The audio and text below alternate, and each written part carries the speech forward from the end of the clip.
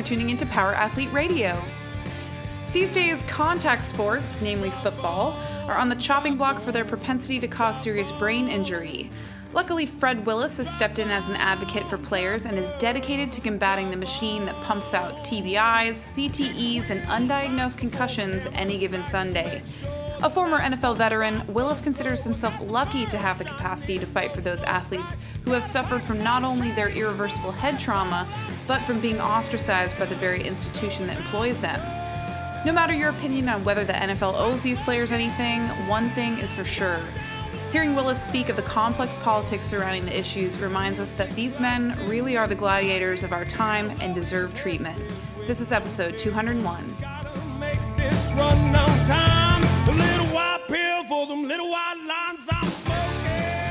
Power Athlete Nation.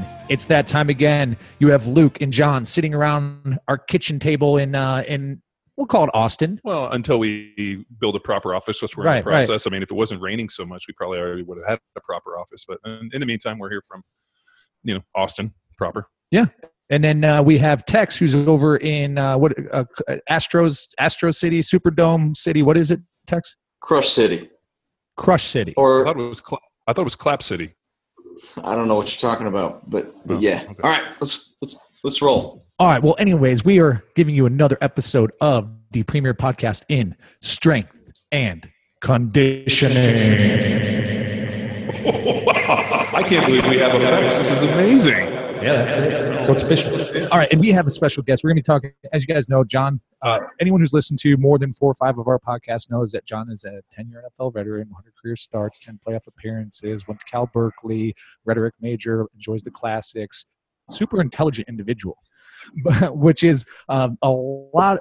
A lot of that John has in common with our guest today, right? So, John, tell us about who we got going. Yeah, I mean, I was really excited to, get to uh, connect with Fred Willis. Uh, Fred's a former NFL player and has really been spearheading um, the effects of not only concussions and CTE and really the lawsuit that's uh, you know between the players and the NFL, uh, you know, concerning you know the uh, I guess you could say like the misinformation and really just the uh, you know all out just bad etiquette of the NFL where Yeah. not only would they uh, you know keep information but they really classify things off and you know and uh, people are been damaged and uh, you know if the NFL had done the right thing and really given lifetime medical benefits to a lot of these guys we probably wouldn't be having this conversation but unfortunately they didn't. So there's a uh, concussion lawsuit and for those of you guys that are you know seeing in the news this is pretty prevalent. And uh, you know how I got connected with Fred um, I'm on an email uh, list and just was getting hit with a lot of information by Fred about not only the concussions, what was going on, and he does a great job of keeping ex players really abreast of the situation at hand. Uh, unfortunately, a lot of guys just aren't educated on it, and you know, Fred's been deep in this fight, so I uh, reached out to Fred um, about you know getting on the phone, talking, and starting to understand a little bit more. And then life hap- happened, and you know we moved to Texas, and you know that kind of got put off. And you know I was sitting uh, at a coffee shop working, and one of the, his emails came through, and I hit him up and said, "Hey man, we were supposed to have a conversation." So we jumped on the phone for about an hour and a half, and he not only explained to me the situation uh, concerning the lawsuit and what was really going on in terms of both time, uh, both sides with the you know legal teams that were supposedly defending the players in the lawsuit, the NFL, the settlement, what was happening within the courts, and um, he's got some really interesting stuff that he's been putting forth in terms of treatments to help ex NFL players or people that you know might be dealing with uh, you know the concussion syndrome. So uh, you know my natural thought after the conversation was to get Fred on a podcast on podcast, yeah. and really just have a recording where if uh, you know ex NFL players or people have questions about this, they can download this episode of Power Athlete Radio and hopefully get them all answered, and then also you know get a good introduction to Fred and you know potentially uh, you know have him as a resource that they can reach out to. So we're just doing a little bit of a community service and um, hopefully helping guys Mhm. uh, navigate these extremely muddy waters because uh, like I said, I like to believe I'm a fairly intelligent person, or super intelligent, however you want to put it. And it's even confusing for me. I mean, I, uh, you know, I've been going through uh, a bunch of the, you know, not only legal docs but information that I've been getting sent by the lawyers because I'm involved in the settlement as well in the, in the lawsuit, and it's um, uh, it's cryptic and it's confusing and it doesn't make a lot of sense. And I think, you know, as a you know a defendant in this deal, the big question is, okay, it's settled now how do I potentially get into this thing to either get some benefits or get mm-hmm. some help? So I think um, you know Fred can not only give us history on not only the uh, effects of CTE, uh, the settlement, um, you know, really the case, you know, what's kind of transpired, and then also give us some ideas on treatments and how we can help, and necessarily some numbers and some places for ex players to to reach out to in case they're having problems. So Fred, I mean, uh, you know, you you said you have a, a I guess about you said seven years in the NFL. You're involved in the NFLPA. Uh, you've got an organization, NFL Players Brains Matter. Uh, you're and you've been in this fight for a while. So I think what we'll do now is just hand you the mic and uh, you know give us some background on yourself uh, and and what do you want to talk about? I mean, we talked quite a bit pre-show. This is your platform. Let's get the message out. Yeah. Okay. Well, thank you so much. Um, I, I, you know, I think that the key here is um, trying to get the message out to to our to our brothers. You know, we we have a very very strong brotherhood. Uh, guys who played in the NFL.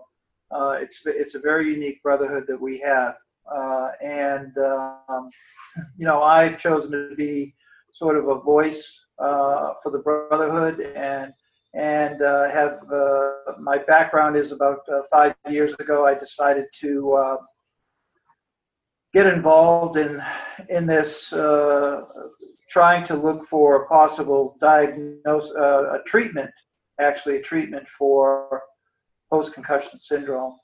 Uh, I live in Boston, and I got to know this Robert Stern at Boston University pretty well as, as a colleague and friend. And uh, Dr. Stern is the in his group for the people who have been doing the autopsies on players who have committed suicide and and players who have passed away um, since this all started.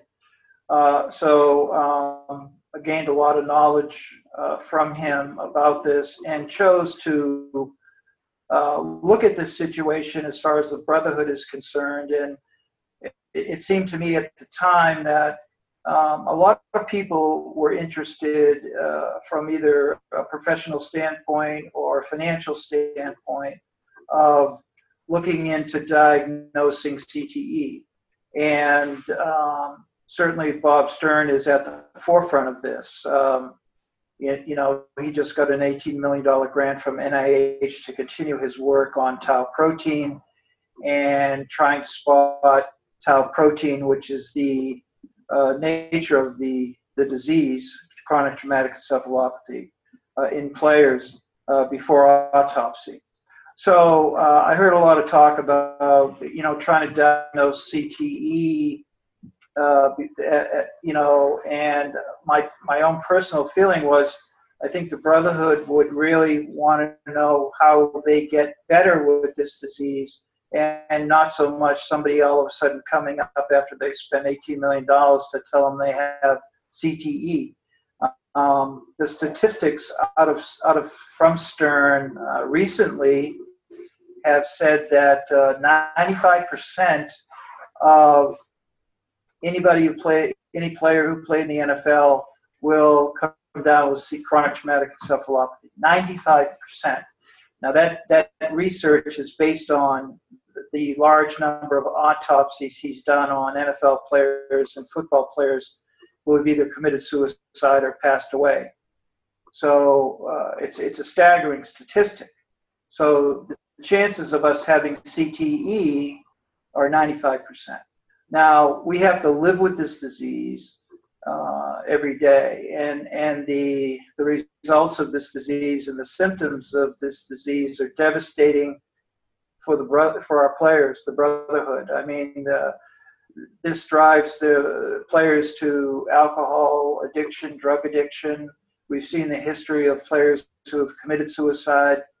Uh, the uh, basically the results are pretty much the same for all of them, where they've in the end where they've committed suicide at that time they were broke, addicted, and homeless or separated from family. So you know, we know the insidious nature of this disease and what it can do to us. So that's why I chose to get on the treatment side of it. And uh, you said it was about five years ago. What was what was the driving force? I mean, when did you well, decide? Hey, I'm going to. It, it's kind of an interesting reason. Um, about eight years ago, I was uh, I wasn't feeling well, and I was diagnosed with. Uh, I, I actually went to the doctor, and and I was diagnosed with end-stage liver disease, uh, which was pretty shocking. Uh, And I was told uh, eight years ago that uh, unless I had a liver transplant, that uh, you know that was it. So um, I was placed on a, a liver transplant list and, and waited uh, about three years for uh, a transplant, uh, which I eventually did receive.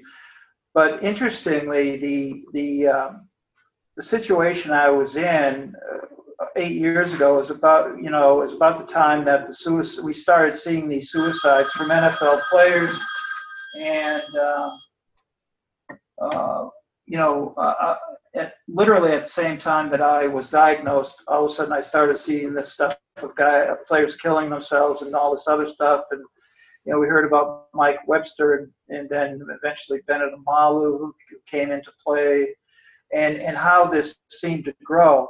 But uh, my situation was uh, personally that the symptoms that, I had something called hepatic encephalopathy. Uh, those symptoms are the same symptoms that uh, NFL players who committed suicide had with chronic traumatic encephalopathy. So um, the the symptoms were the same. Um, you know, where uh, almost uh, parallel to what I saw was happening with with players uh, when they found out why they committed suicide and, and the experiences they were going through behavior wise. So actually, uh, a lot of patients who uh, are waiting on liver transplant, the suicide rate is is is pretty uh, pretty large because they don't want to deal with hepatic encephalopathy. So what that means is when um, the uh, liver shuts down, uh, it can't process ammonia in your body. So the ammonia goes directly to your brain, and it causes uh, full-blown dementia. So for about three years, I experienced uh, full-blown dementia there is there is a way to offset it um, in that uh, you know you have to basically uh, go to the bathroom, uh, take a laxative, and go to the bathroom all day, and you oh, gosh. on the toilet. It's not comfortable at all. So anyway, that's the only way to get the ammonia out. So anyway, I, w- I went through a full-blown experience with dementia, and just similarly, uh, all of a sudden I see seeing the same things happen to our guys that were committing suicide, and I say that's me.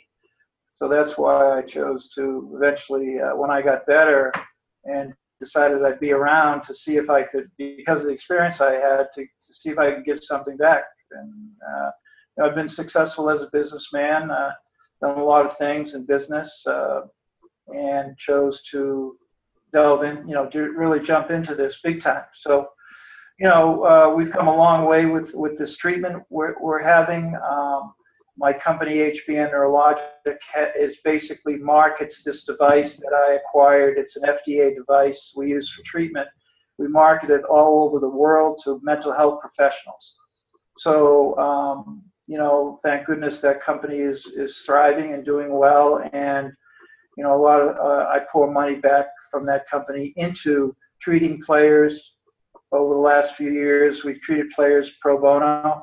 Uh, I just finished a self-funded uh, two-year clinical trial study uh, with players out of Tampa, Florida, um, that showed uh, tremendous results with this treatment. So we've come a long way with it. Uh, my plan is to have uh, treatment teams set up in cities around the country when the lawsuit finally settles to treat players. And this, I guess, that's why this is kind of timely, right, John? Because there's we're finally kind of seeing the horizon on this thing. Because how yeah. long has this the lawsuit been in play? I mean, I think uh, you know, next to four or five years. I remember five uh, years. Yeah, we have five years. I remember uh, you know first being contacted actually by Kyle Turley about it, and uh, you know the idea where you know we don't necessarily know what's happening, and I remember thinking to myself, uh, um, you know, and they the irony of this is when I first came in the NFL, I remember distinctively talking with the uh, the doctor, and they were going through a whole deal, and they said, you know, you know, you'll get a concussion when you're knocked unconscious. And I was like, oh, okay. So, if uh, you know I'm not knocked if you know not knocked unconscious, I don't have a concussion. And they were like, no, no, no, um, that's how you'll know. So then the hilarious part is fast forward to 2007, 2008. I remember a similar conversation when they reclassified it, and they said, you know, you'll know you'll have a concussion if you hit your head and you feel disoriented at any time. You hear a ringing, your eyes cross, maybe your vision blurs and I I remember thinking to myself, man, that uh, that's really a strange re, uh, reclassification. And then, ironically, um, shortly after I retired, uh, living in Newport Beach, I got reached out to to be in Dr. Amen's, um, you know, uh, brain study. He was, uh, you know, analyzing ex NFL players, and when one of their questions when they came in, they said, uh, "How many concussions do you think you've had?" And I was like, well, do you want the 1999 uh, diagnosis or do you want the 2008 diagnosis? Mm-hmm. And they were like, well, what was that? And I, I told them the same story. I'm like, well, I've never been knocked unconscious. And then they asked me, well, based off the 2008, how many concussions you've had? And I'm like, I don't know, maybe 40, 50, 60,000. I mean, you know, you got to figure like we played. How many, yeah, how many practice snaps and? Well, I mean, you got to figure like, okay, you had 60, 70 plays per game, um, you know, and you figure you probably had, you know, two or 300 reps per, per practice. And you look at training camp, double days, and you go through these numbers and you're like, you know, would it make sense that you had 6,000 uh, potential head contacts during a season and over 10 years? I mean, you know, would you say 60,000 is fair? and we kind of went back and did the math and they were like man that's uh that's a pretty high number of traumatic brain injury and they were like you know, I was like, well, not every time I hit did I feel disoriented, but there was probably 20, 30% of those where, you know, you're put, you're basically driving your head through somebody and you walk back to the huddle and you're looking, you know, blinking your eyes or, you know, I remember one guy I played with told me uh, during a play, he's like, dude, I can't see out my left eye. And I remember thinking like, it's pretty bad. And, uh, but, uh, you know, that's the nature of which you came in. And I think the NFL and part of the reason that the concussion lawsuit has been, you know, somewhat successful thus far is, you know, players weren't made aware of the potential for these things because I mean either they they knew and they covered it up or they didn't know or they didn't want to know. But I remember uh, you know the information that we were being told was not accurate, and I think a big part of this thing is.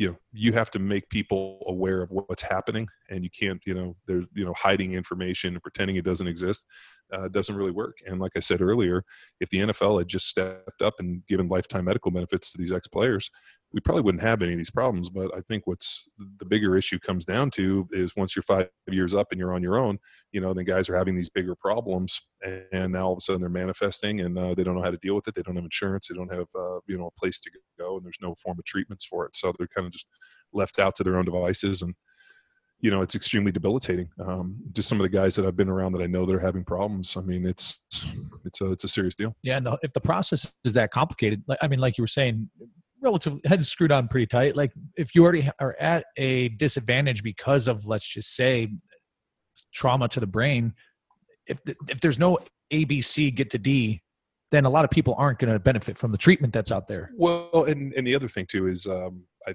think a lot of players. Uh, you know, having been in the NFL and you know these Superman esque you know players, I'm big and strong and this, and now all of a sudden there's this uh, you know this kind of gradual changing and I think a lot of guys either don't want to admit it or just kind of you know ignore it, which is you know what you kind of tend to do with injuries in the NFL. You're like, uh, you know, I mean, I, I, I was great. I was like, you know, if you want an injury to go away, just ignore it. It tends to go away. And I think guys have taken that same approach, or they just you know are too prideful or don't know how or you know hopefully this podcast will give people at least a little bit of beacon of hope and uh, as trying to find people like fred or people that are offering treatments or really just how to navigate this whole thing. And i think that's really um, you know we know the settlement's happening. We know that the concussion lawsuits out there.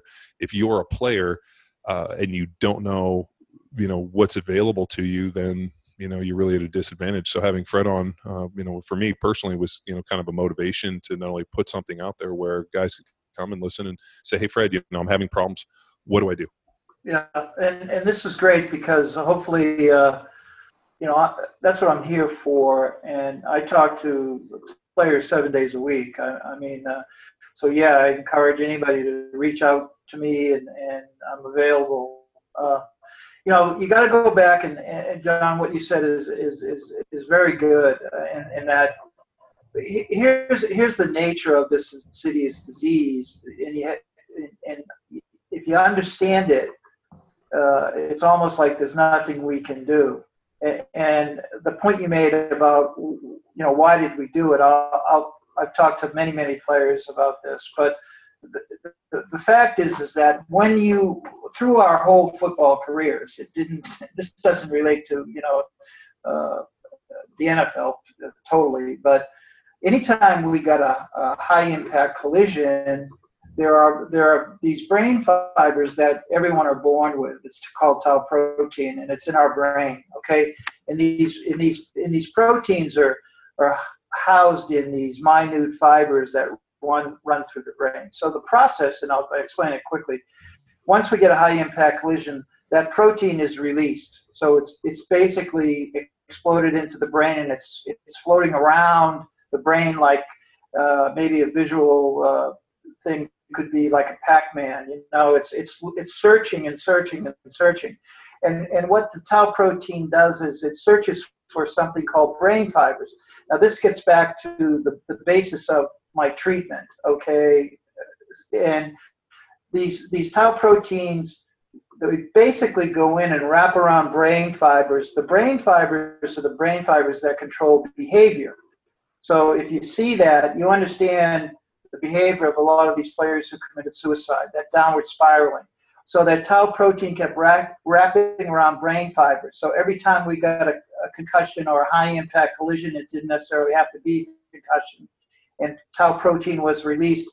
It, it just once it started, once it was exploded into the brain, it didn't stop until it wrapped around that brain fiber, and it'll never go away. Okay, now, the problem we've had from a scientific standpoint is there there is nothing, to my knowledge, that whether it's an MRI or any type of scans that can actually pick up brain uh, tau protein. So the only way we can see tau protein is at autopsy. So in knowing Bob Stern and seeing his whole uh, process that he he does, you see these uh, autopsy pictures of, of players who uh, their brains are uh, filled with tau protein, all these brown blotches that are that are in the dissections of, of, of the autopsy of the brain.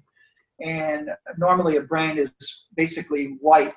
So when you've seen the results of these players who have committed suicide, uh, you see all these brown blotches all through the brain, the cross sections of the of the, uh, the anatomies and um, that's tau protein. So once it's in, we're going to live with this for the rest for the rest of our life. Okay. The problem is it is a uh, a disease that uh, you know progresses uh, into uh, a downward spiral over time. Uh, we don't have we haven't been able to control. Uh, I've seen guys at 35 years old that I'm working with and helping on the lawsuit that have full-blown dementia that, that are that are committed a qualifying diagnosis of 2.0 advanced dementia and they're 35 years old okay so um, it doesn't uh, mean if you're 35 or you're 60 or 70 okay uh, I don't want to cut you out, but uh, that's a great point, um, and something I was really curious about. Um, so, the effects of CTE, the way they're manifesting, is in dementia. So, guys, you know, those of you guys have never been around, uh, you know, some people or from people that have been dementia, it's uh, it's pretty horrifying. If any of you guys have had parents or grandparents go through it, uh, it's probably one of the uh, you know worst diseases for the people around you to see. You know, you kind of you know basically deteriorating. Um, but how do you know? Because if you can't test for CTE, but obviously there's a way to test for dementia what's the process to get guys and uh, test them for dementia? Right. Is it a, right. a, neurological test? Is it a, is it a uh, uh, you know uh, interview? Is it like uh, you know flashcards? Like what's the process? Well, they, okay, and, and again, uh, to to uh, you made a point. You know, I've always said that that that wives, children, and families closest to us are the ultimate witnesses of this disease. Um, and you know, in in my work with players and with doctors and other people that are helping players qualify for the lawsuit, um, I impress upon uh, players that uh, their families and, and loved ones uh, are very important in them qualifying for this process. Because they're you know they could play a huge role in in you know telling these uh, neurologists and neuropsychologists who are responsible for qualifying players, you know, the nature of their behavior. It's very important. But to answer your question about about how to, you know, what has to happen here, there's only really, unfortunately, uh, one thing that can happen. Now, players uh, who say are, are may not be interested in the concussion lawsuit. I mean, there are many ways that they can go out and get diagnosed for dementia. Okay, they can go see a neurologist and and and they can be under the care of a neurologist.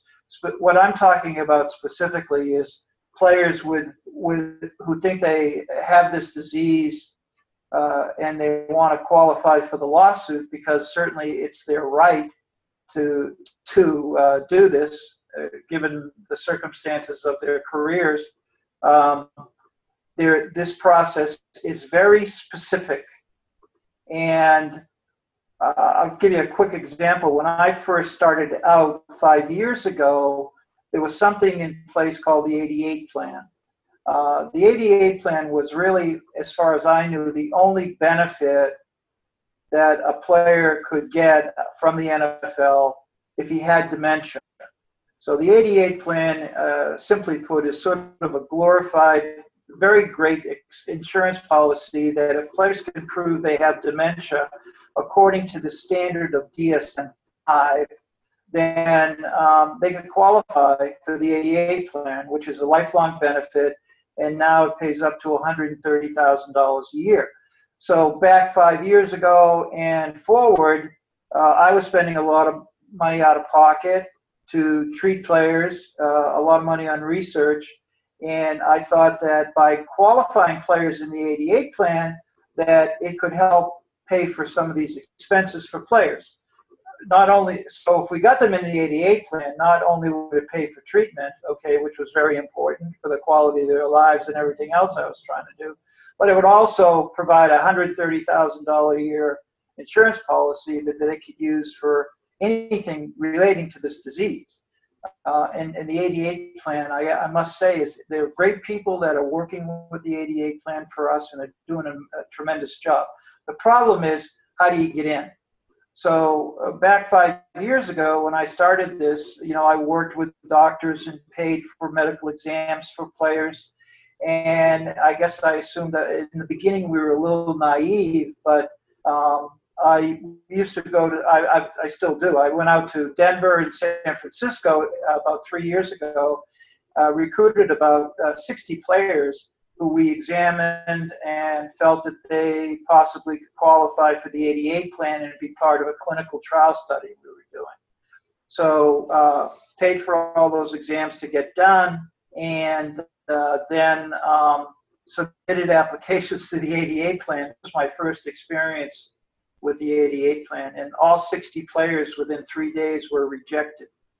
So then I said, well, uh, that's strange because I've got I've got neurologists examining these players who are saying they definitely have dementia, and the 88 plan just rejected them based on the their answer was based on the doctor. That was the answer. So we got 60 letters that said the same thing to every player. You're denied uh, the 88 plan benefit based on the doctor who examined you. So then I said to myself, something's going on here. So, that, so then I learned what, what has to be done to actually qualify a player medically for the, the 88 plan and the concussion loss.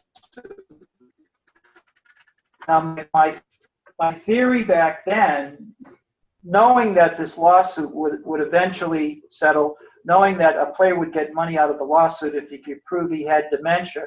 So the same proof was for the 88 plan, and then eventually, if it, what my feeling was, if we got a player qualified for the 88 plan, then he would be guaranteed money out of the lawsuit. It's, it seemed logical. Same standard. They had, he has dementia. He proved he had dementia to the 88 plan, so then filing for a, a, settlement in the concussion lawsuit would have been a slam dunk as far as I'm concerned. As it turned out, we went through this process and learned a lot about that. So we know what it's going to take for a player to qualify for the lawsuit, and that and that involves seeing, uh, and there are some dates that are important that players should know now. But prior to January 7th, before the lawsuit settled, the player could seek an independent exam. So I was working with doctors, getting players in, and these doctors were, we knew they had to be board certified because of all the rejections we had gotten through the 88 plan. So we figured out that the doctor, whether it's a neurologist, or a neuropsychologist, needed to be board certified, or the 88 plan was going to reject them, in my opinion. Uh, we also knew that what we were seeing uh, back then, uh, we weren't seeing much about the lawsuit anyway, but you know, uh, we, we knew that the path we had to take was with board certified doctors, so we did that, and we had we had success. Now, prior to January 7th, which is what is called the effective date of the concussion settlement. It's a big date because a lot of things changed as of that, that date. So prior to that date, players could actually seek out an independent exam. Okay, and if they went to board certified doctors, their chances of getting approved would be better. Okay, rather than just seeing a, a uh, just a, an MD or something. Okay, so it had to be board certified. We knew that, and that's how I directed players to see doctors who were board certified. And there are quite a few players I've worked with uh, prior to the date of January 7th that have qualified for the lawsuit. And they will be able to submit claims now to the claims administrator, BrownGreer, uh, March 23rd. Uh, players can start submitting their claims. So, players who got qualified prior to January 7th, really to me, um, were smart and have, have, if there is an advantage, they have an advantage as far as they can file their claim. They've received a baseline uh, which is the critical part of this whole process, is the baseline. Uh, the baseline exam drives everything. It, it tells it, it'll tells a player if he's going to qualify or not qualify for the lawsuit. If he's going to get money or not get money. Okay, so the baseline is critical. And the only thing I can say to players is until they get the baseline exam, nothing will happen. So let's go back to the January 7th date important date for all of us because everything changed as of that date. What, what, the, what the effective date meant was that players after January 7th can still seek an independent exam, okay? But it carries a 10% penalty on their settlement. So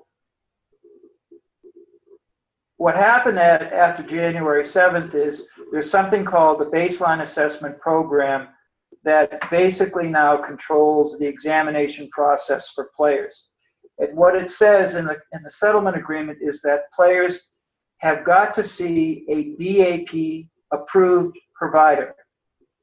So the BAP system is now being set up for players to get exams.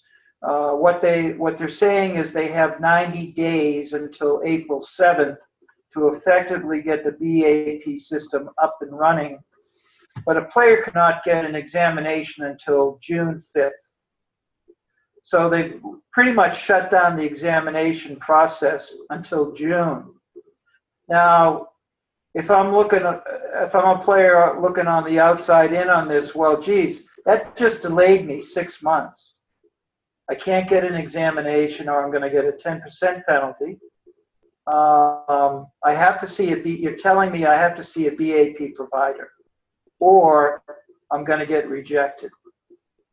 Okay? Uh, Fred, what does BAP stand for? Okay, BAP is is the baseline assessment program. Okay, so uh, ultimately, ultimately, the goodwill here, as far as the thought of a of a baseline assessment program was that players could, once it was up and running, players could get a free examination. Sure. Okay. So uh, I'm assuming that on June 5th, any player could call. What now? BAP needs to be set up. Uh, according to the settlement, they're going into 53 cities around the country to make these BAP doctors available to players. So in June, they can call up and, and get an appointment for a free examination. Now, prior to January 7th, okay, any player that got to qualify, got examination, okay, and these exams run anywhere from there. Let's assume, let's plug a number in here, ten thousand dollars, okay, cash to get an exam. So the burden was on the player prior to January seventh to figure a way how he was going to pay for the exam. All right. So what occurred were there were law firms uh, certain law firms that were uh, talking to players that said, "Listen, if you sign a fee agreement with us, we'll we'll pay for your exam. We'll we'll take the risk. If you come on with our firm, we'll take the risk on the ten thousand dollars, okay, for you to get a qualifying diagnosis." So a lot of players did that, and as it turned out, it was it was probably a good move because they put all this behind them. They have a qualifying diagnosis that's acceptable, okay, to file a claim. Fred, you, you know what's crazy is uh, I'm uh, I remember I got hit up uh, and I can't remember who put me in touch, but I signed in the law firm or yeah. the Yeah. the case with some law firm, and I have never got any information Right, or right. ever, uh, been reached out for any baseline assessment. Yeah, and I have a term for that, and I've, I've, I've gone out publicly with it. Uh, I call those guys cut and paste lawyers. Yeah. And I've taught, I've had many conversations with players and about this, and they say, you know, I signed a, an agreement with this guy. He's taken 30% of my settlement, and all I did was sign an agreement, and I've never heard from this guy, or he sent me a few Yep. updates or whatever. So these are all the things What that do you do? So, so for me, I mean, what do I do? Just uh, send the guy, uh, you know, uh, basically fire him, Yeah, him. I think you can. I think you have a right a right to release him. Now, what you know, I've looked into this, and and supposedly this lawyer uh, could could uh, file a lien, uh, you know, against the player. But I think what's going to happen here, any players who are listening, um, I think that my opinion, what will happen is if they were with a prior law firm, if they went to another situation where they could qualify for the lawsuit, they didn't have to come out of pocket the cost of the exam, they were comfortable with that attorney, then I think what will happen is this won't go down, this problem won't go down to the player. I think that the lawyers who will deal with this amongst themselves and settle it so it won't affect the player. So if a lawyer is getting a 20% fee and some other lawyer wants to make, file a lien against the player, uh, I, I'm very confident that these two lawyers will work it out. That's how the process will be. Will be Why would a player even need an attorney in this? I mean, it seems Well, like, um, we can talk about this too. I mean, it, it doesn't. Even, I mean, the, uh, Yeah. you know, I mean, uh, it's kind of like uh, if the lawsuit has been settled and somebody else is paying for the baseline assessment with this BAP group, then why would you even need an attorney? It seems like better just to cut those guys loose and do it yourself and not have to pay the Well, and, and let, let me explain that. And it's, a- it's a great question. Um, uh, but uh, we've got this, we've got this supposed June 5th date coming up. And, and I, I talked to uh, many, many players, okay, seven days a week.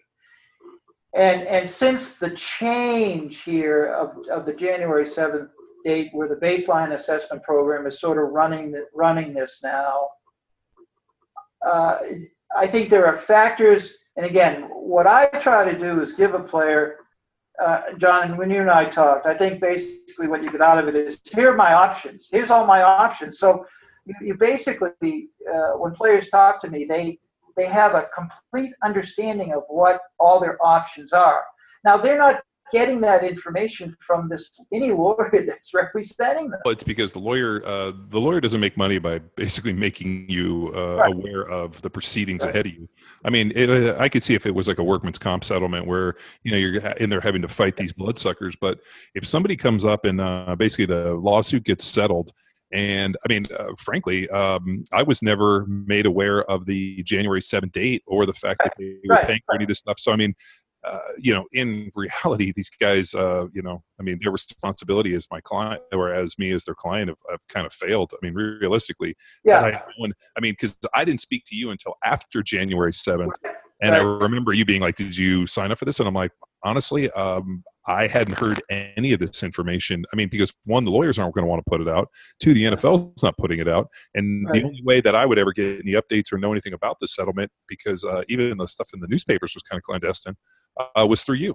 And so when I reached out to you, you were like, "Hey," uh, I'm like, "Dude." And here's the thing: I don't bury my head in the sand. I like to believe that I'm uh, fairly like abreast of what's going on, and I didn't know what it was. So what's the? Maybe I missed it. What, what's the motive behind holding back on Well, the information? well, I I think. Uh, Well, there's a definite motive. well, Did, did I well, it? take- well, well, the motive. I mean, for one, is uh, players had to come out of pocket and pay the ten grand prior to January seventh to get uh, approved. And if the guy doesn't have it, the lawyer usually the lawyer would front that. So these guys are probably thinking like, well, we don't tell them, we don't have to front the money, and then this whole thing will settle, and then they're, they're going to get a free treatment anyway. So if you think, I mean, uh, they probably didn't want to have to fork out money on the front side. And for the most part, uh, you know, it's it was super easy for these guys to sign up a bunch of people and maybe send an email or. I mean, I I- I got some literature the other day in the mail, and uh, you know, you would think that from the literature that these guys sent me that they were out there with swords fighting these people when uh, that's not true. I mean, this thing got decided. Uh, you know, uh, you know, I, yeah. I mean, John, let me let me just let me just say something here, okay? The, these cut paste lawyers show up at player meetings over the years, wherever they could weasel their way in amongst players, when players weren't even thinking about a concussion settlement, okay, and waved a piece of paper in front of them, and, and players are at a, at a, at an NFLPA meeting or an alumni meeting, and they're, they're there socially. That's what those organizations are here for. Golf tournaments, have fun. You know, the brotherhood. We get together, and all of a sudden, this this uh, cut and paste guy shows up, and he's waving, "Hey, you know, we got that settlement coming up someday. You're not even thinking about it. You're gonna need to be represented. Oh yeah, let me sign it." So a lot of guys just signed it, not even knowing. And then now here we are. The day has come. All these cut and paste guys are rearing their ugly heads, and I'm fighting them, okay? I am fighting for every player, okay? You don't need that. Why should you give this guy anything, okay? Bottom line.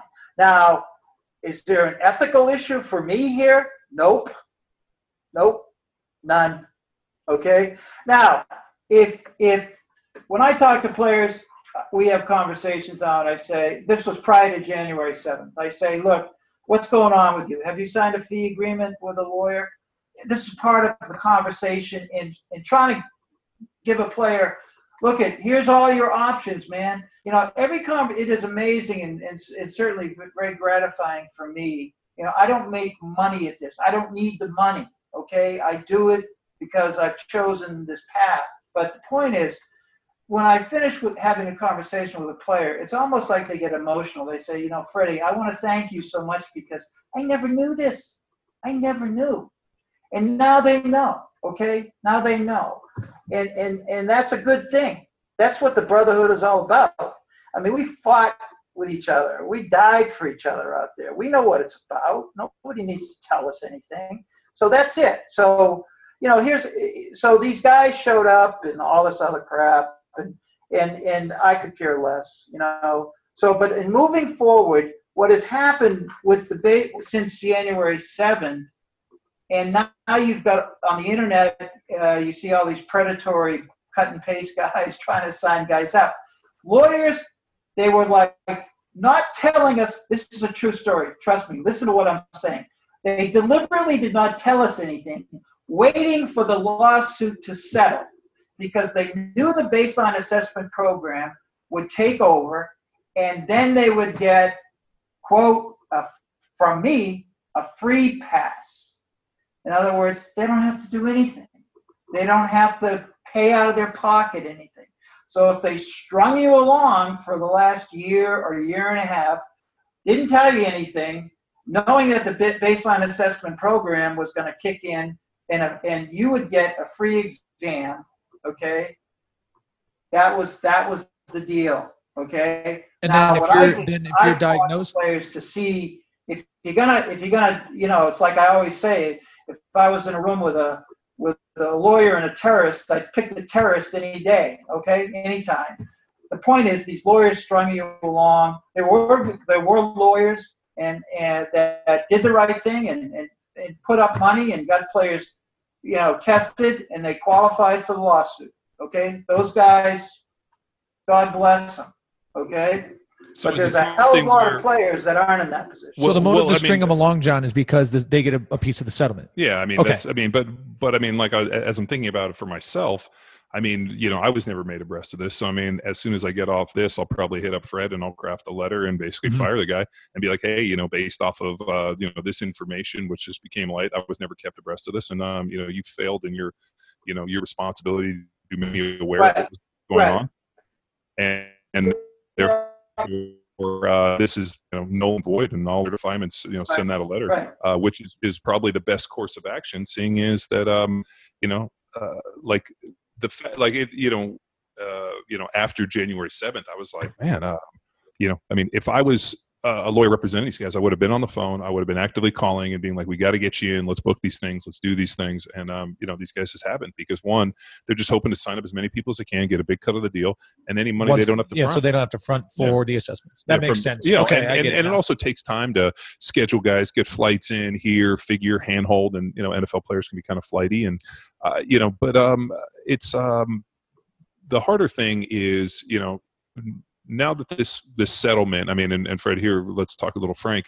Now that this settlement is, you know, in the process of going forward, and then actually Jan or in June, I think you said, uh, players can now apply to go and be able to get baseline assessed what do you think the reality of the process once you get the assessment to actually be able to get any money out of these people because the one thing which i have i mean i've been in seven years i've been dealing with a workman's comp case in california Yeah.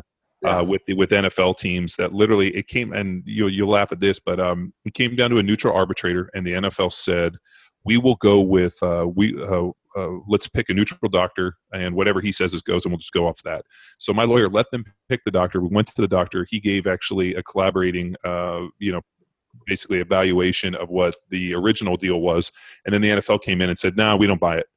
And they deposed their own doctor, and now they've set it for trial. And I got to go to a trial in, uh, you know, in April in California about this issue. I mean, and we're not talking a ton of money here. I mean, it's it's relatively, and my lawyers for years has been like, "What do you think?" I'm like, "Ah, we'll keep fighting it." I mean, it just, you know, if anything, it's just you know draining the NFL's money. But uh, getting a dollar out of the NFL after you've retired is next to impossible. So I'm just wondering about what the actual chances of these guys, you know, because I mean, if you think about guys like Kevin Turner and uh, um, you know these guys that have had tremendous problems, like what's the chance of any uh, anybody ever getting any money out of this? Yeah, I'll, I'll address that in a second, but you, you brought up a, you know, there, there have been sort of uh, major, I look at this uh, over the years in major events. Now, you mentioned workman's compensation, and so I could use that as, a, as an example uh, of what you're asking me about the lawsuit. What happened with workman's compensation? Let's look at the history there. In the beginning, players uh, were filing workman's comp claims for for a while and receiving pretty decent settlements. The, the settlements were in the range of a couple hundred thousand dollars. Um, I, I uh, what we knew of back then when this workman comp claim uh, rose its head, rose its uh, arrived here for an opportunity to get some money. Um, we knew that if we played uh, played in California, that California was the only state that players from outside of California could go and follow workman's comp claim. It was the only state in the country where they could, if they got in, supposedly if they got injured in a game in California, if, if I played for the Oilers, if I got hurt playing the Chargers or the Rams or the, the Raiders or something, I could file a claim, workman's comp claim in California. Now, at the time, a lot of players did that. They received, um, you know, some pretty significant settlements. Now, when the NFL saw that, so this is event number one, I call it. When the NFL saw that, what did they do? They said, wait a minute. These guys are getting 200 grand, 225 grand. That ain't right. So what they did was they spent millions of dollars lobbying the state of California to stop the workman's comp situation with NFL players. Fred, you, uh, Fred, you actually missed a step. Uh, Yeah. What really happened, or the the step that you kind of missed, was um, actually we can blame on the scumbag attorneys. Uh, The players that were actually legitimate players that had played and had you know injuries, like I played in California and had injured, but I was, I was a California resident, so I was you know, obviously there. But what happened was uh, these you know guys would go in and they get these settlements, and it was you know a few a year, and then all of a sudden these lawyers got this bright idea that we're going to flood the system, and they uh, oh yeah, yeah. you know, and, and one, one of the guys actually was an ex NFL player, and another guy just got disbarred. They went in and they traveled around and sent letters and signed up hundreds of ex NFL players. Oh, so this is like the guy who's like uh, gets a car full of people to get rear-ended. And he's Yes. like, "I'll hook you up." Well, well, so I mean, to the point where they were filing workman's comp claims for players that had never even played in California, guys that had played one year in the '60s.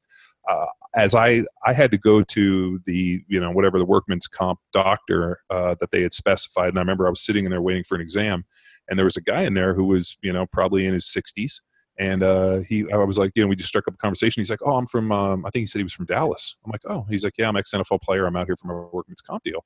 And I was like, man, when did you play? And he's like, well, I played in like 71. And I was like, did you ever play in California? He's like, no, no, I never played in California. But this lawyer told me if I signed up, I could get money out of the state of California. So I'm here doing the process. And I think like at that point, it got to be pretty ridiculous. And so, like you said, now step two, the NFL spends millions of dollars. They actually, uh, ironically, hired the most po- or created the most powerful lobby in the state of California to go in and write this whole thing. And the hilarious part I know about that is my next door neighbor, uh, who's big in the fishing industry, hired the same lobby. And I remember he said, "Dude, I got these badass lobbyers to get these things pushed through." And I was like, "Man, why are they so badass?" He's like, "Well, the NFL is is uh is, is supporting, it's bankrolling." So you know they got to. Yeah, so- so they gotta be good. Dark side. and then they went through and they did and ironically uh, my assemblyman voted for this you know to get rid of these workman's comp deal and i tried to go down and have a meeting with this pussy his name's Allan Mansoor if anybody's listening uh, and they wouldn't fucking have a meeting I'm like i'm a constituent i live in your fucking district and you voted us against uh, or for something that basically hurts me and this Did you dude, have like? a- Did you have a posse of tattooed dudes in like you know swinging chains or anything? No, I, and I was like, I want to meet with my assemblyman, and uh, the dude punked out on me, and uh, uh, he's he's since moved on to other things. But anytime he pops up on Facebook, I fucking slam him. And uh, his uh, campaign manager called me, and I like, and he's like, you know, this is, you know, this was terrible. This was going to cost the state. I'm like, it wasn't costing the state anything. It was costing the NFL. Now, by them not giving workman's comp deal, now it's going to cost the state because these guys are going to be claiming state benefits. Mhm. Fucking worst. But Yeah, it, it, Long story really- short. you're absolutely right, John. It, you know, it's the the ethical the ethics of lawyers. Okay, and in in the in the workman's comp thing, and we'll move on. Um, they made it retroactive, so it was like guys who had claims in for years got screwed. They went thinking they might get two hundred thousand, and like they're they're in the they're in trying to settle the claim with the lawyer and the insurance companies in the other room. This happened to me. And they, well, they, they, I mean, twelve they, grand. You want it or not? Take it or leave it. they booted most. another two or three years, uh, suing the insurance company. What do you want to do, Fred? Uh, wow, Well, I mean, uh, they. I mean, there were a substantial amount of people in that workman's comp thing here in California, and they booted probably ninety-seven percent of them. I mean, they tried to boot me, and the hilarious part was, uh, as they were trying to boot me, I actually forwarded them a letter that the NFL had mailed me. They were like, "Well, you're not, you know." Uh, you didn't play in California. I'm like, yeah, I did. I played for the Kansas City Chiefs and played twice, three times, four times a year in California. And I've been a California resident paying here. I mean, I sent him my birth certificate, my driver's license. I sent them over actually email correspondence from the NFL and the PA to my California address. And the hilarious part is, is uh, the lawyer uh, for the NFLPA, Ned Ehrlich, is a, a, friend of mine. I called him on the uh, on the phone, and I was like, Ned, and he's like, dude, he goes, they're asking for all this information. I'm like, would a letter that you mailed me in California would that suffice? And he was like, yeah. And I sent it to him, and he was like, you're you're good. And somehow I was able to stay in it. But I'm telling you, they were they ditched a lot of players. I mean, it, it just it's it, it's a deal where um, the NFL is making money hand over fist over fist over fist, and uh, you know part of the thing with this settlement is they don't have to come out and admit fault. That was the big problem, and uh, this settlement was not admitting fault. They're going to put this money out there. I just wonder, you know, uh, how difficult it'll be. I mean, it's kind of like you said, this prop, like uh, the 88 plan or the, uh, uh, they have all these different, you know, benefits that you can get into. But I don't know anybody that's ever got them. Like, I don't know anybody that's ever, I mean, actually, I know one guy that's ever gotten the uh, lifetime disability thing, and that's probably, and that's Kyle Turley, and it's probably just to shut him up. But, uh, you know, so uh, when, when I looked at this settlement, I, you know, I thought it was, um, you know, it was good to be able to get money to the guys that were really messed up, like a guy living in his car, Kevin Turner, or just any of the guys that I know they're having tremendous amounts of problems. But I just wonder how hard it'll be and what kind of road they'll have to fight to basically get through this because you go through a baseline assessment with this BAP approved doctor how do you know he's not one of the NFL guys? I mean they've had you know boogeyman doctored witch doctors for years like like look at the guy who was the uh, you know head physician and all the NFL stuff. He was like a psychiatrist and he was basically making orthopedic decisions. Yeah. Well you know here here you're going you're going deep now brother well, you know what? That, that's what we do, and uh, unfortunately, I don't pull any punches. And uh, I, frankly, I don't really give a shit. Um, you know, I mean, I think the information that we say should be as stripped down and as raw, and uh, be able to provide people with as much good information as we can. Because unfortunately, unless you're given the information, you can't make a, a you know a, a, coherent decision. Right. So let, let's let's go to where we are right now, um, and and. Um, I, I want to address one thing. Uh, in that my conversations, quite honestly, have changed as of January 7th when I'm talking to players. And, and you brought up a very good point. You know, prior to January 7th, my focus was I know something bad is going to happen here sooner or later. So my advice is get get a baseline get it done now because this baseline assessment program uh, is coming. Okay, and I, I don't know what's going to happen once it's once it comes, but now it's, it's sort of this this window of opportunity here to go out and get an examination. I'll hook you up with a guy who it's not going to cost you out of pocket. They're decent people as far as I'm concerned. Lawyers are lawyers, okay? And that's that. Okay, but but let's keep our. I always talk to players prior to January 7th. Let's keep our eye on the ball here. Let's try to qualify for the lawsuit. Now's the best time to try to do it. So, however they got it done, I didn't really give a shit. Okay, I didn't care. Let's get it done. So, th- so that was that was my agenda, if you will. Okay, get it done because you know there's a bit, something bad is coming.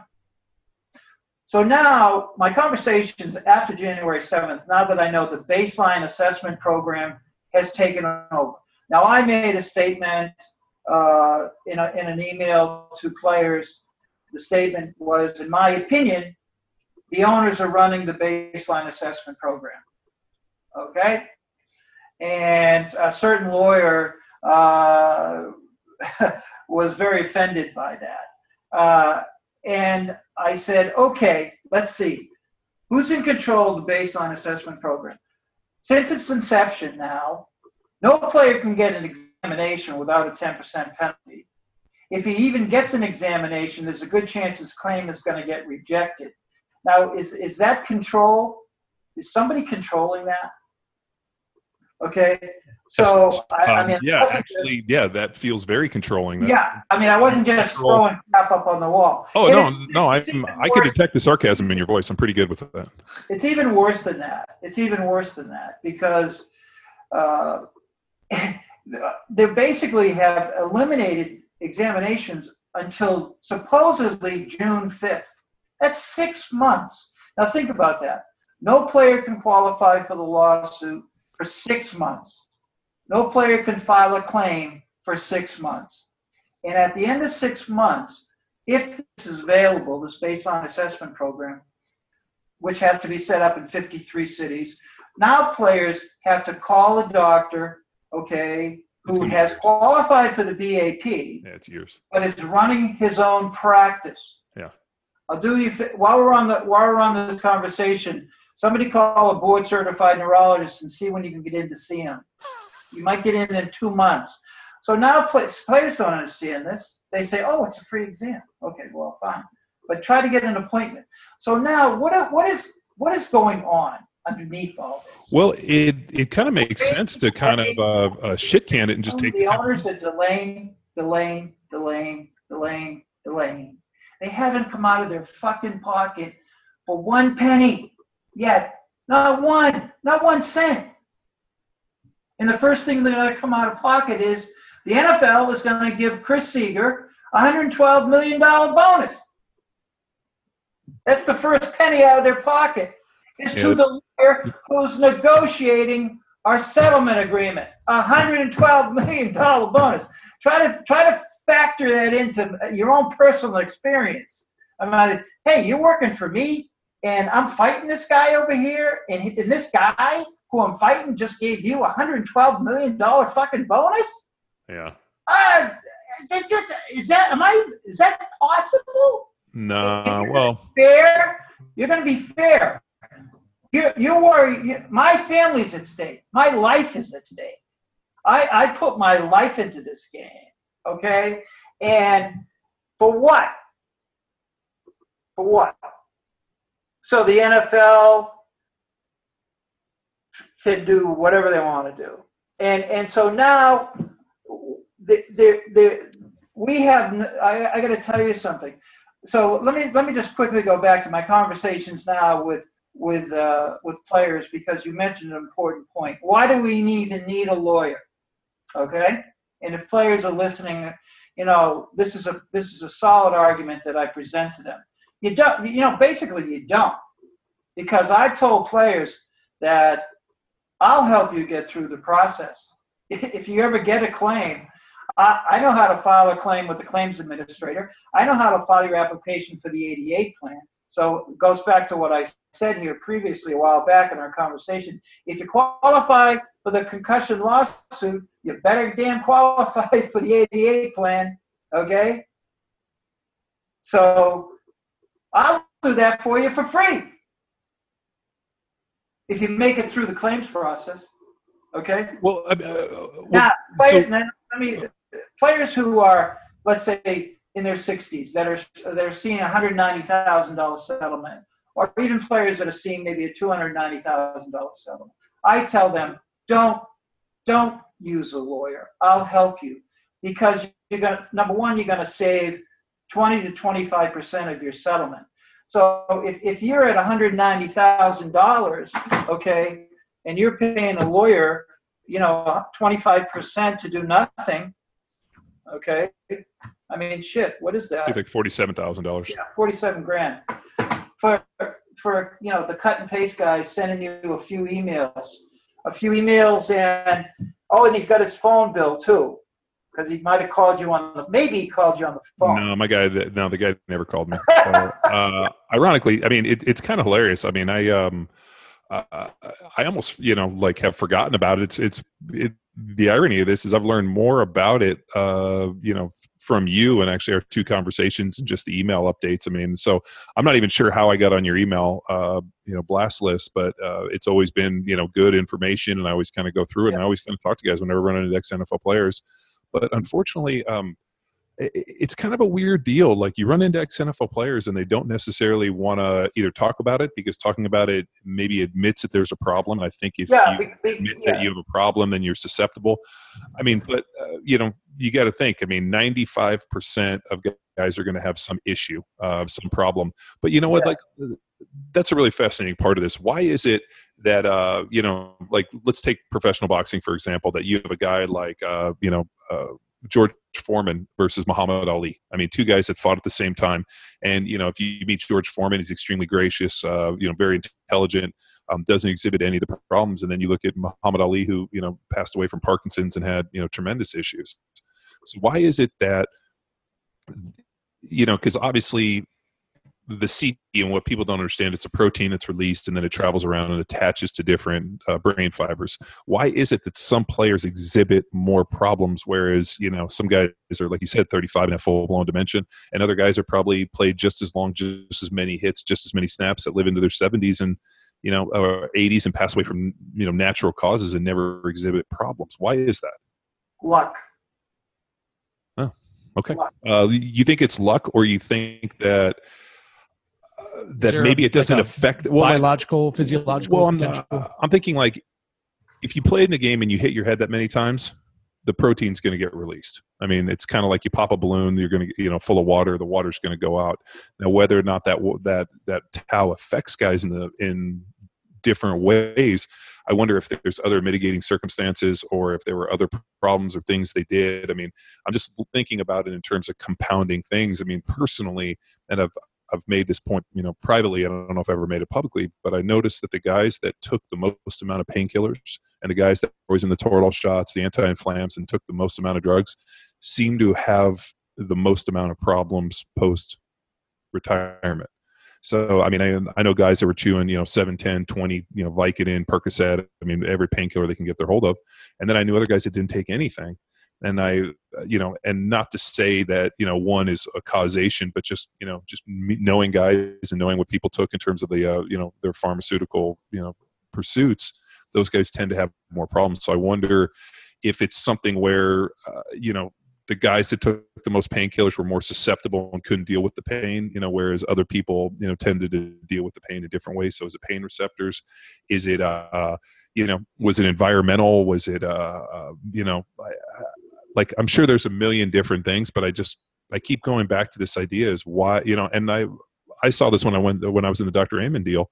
Uh, I, I went to one of the support groups, and there was a guy who was in his mid 30s that had dementia, and I was 32, 33 at the time, and this guy was only a couple years older than me. And I remember, uh, uh, you know, sitting around talking with people, and then you know, and then being like, "Well, you know, have you exhibited any any problems?" And I'm like, "No, I feel really sharp. I mean, I read, I, I do all these things. I mean, uh, you know." And uh, they were a, a little confused by it. And I remember one of the guys like, "Well, why hasn't it affected you the same way?" And uh, I, I really didn't have any answer for him. So I, uh, you know, I mean, I'm, I'm punting this to Fred, who's obviously, you know, much more, you know, well traversed in this. I'm just saying, just, uh, you know, and I don't need science as much as just maybe some observation.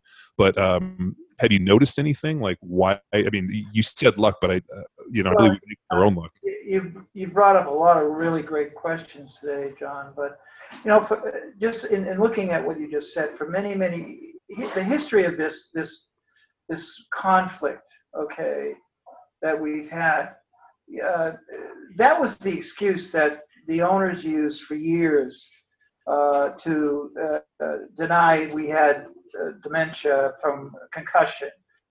You guys are a bunch of alcoholics. You're a bunch of drug addicts. You did this. You did that. Anything they could they could throw up on the wall to deny that we got received uh, concussions.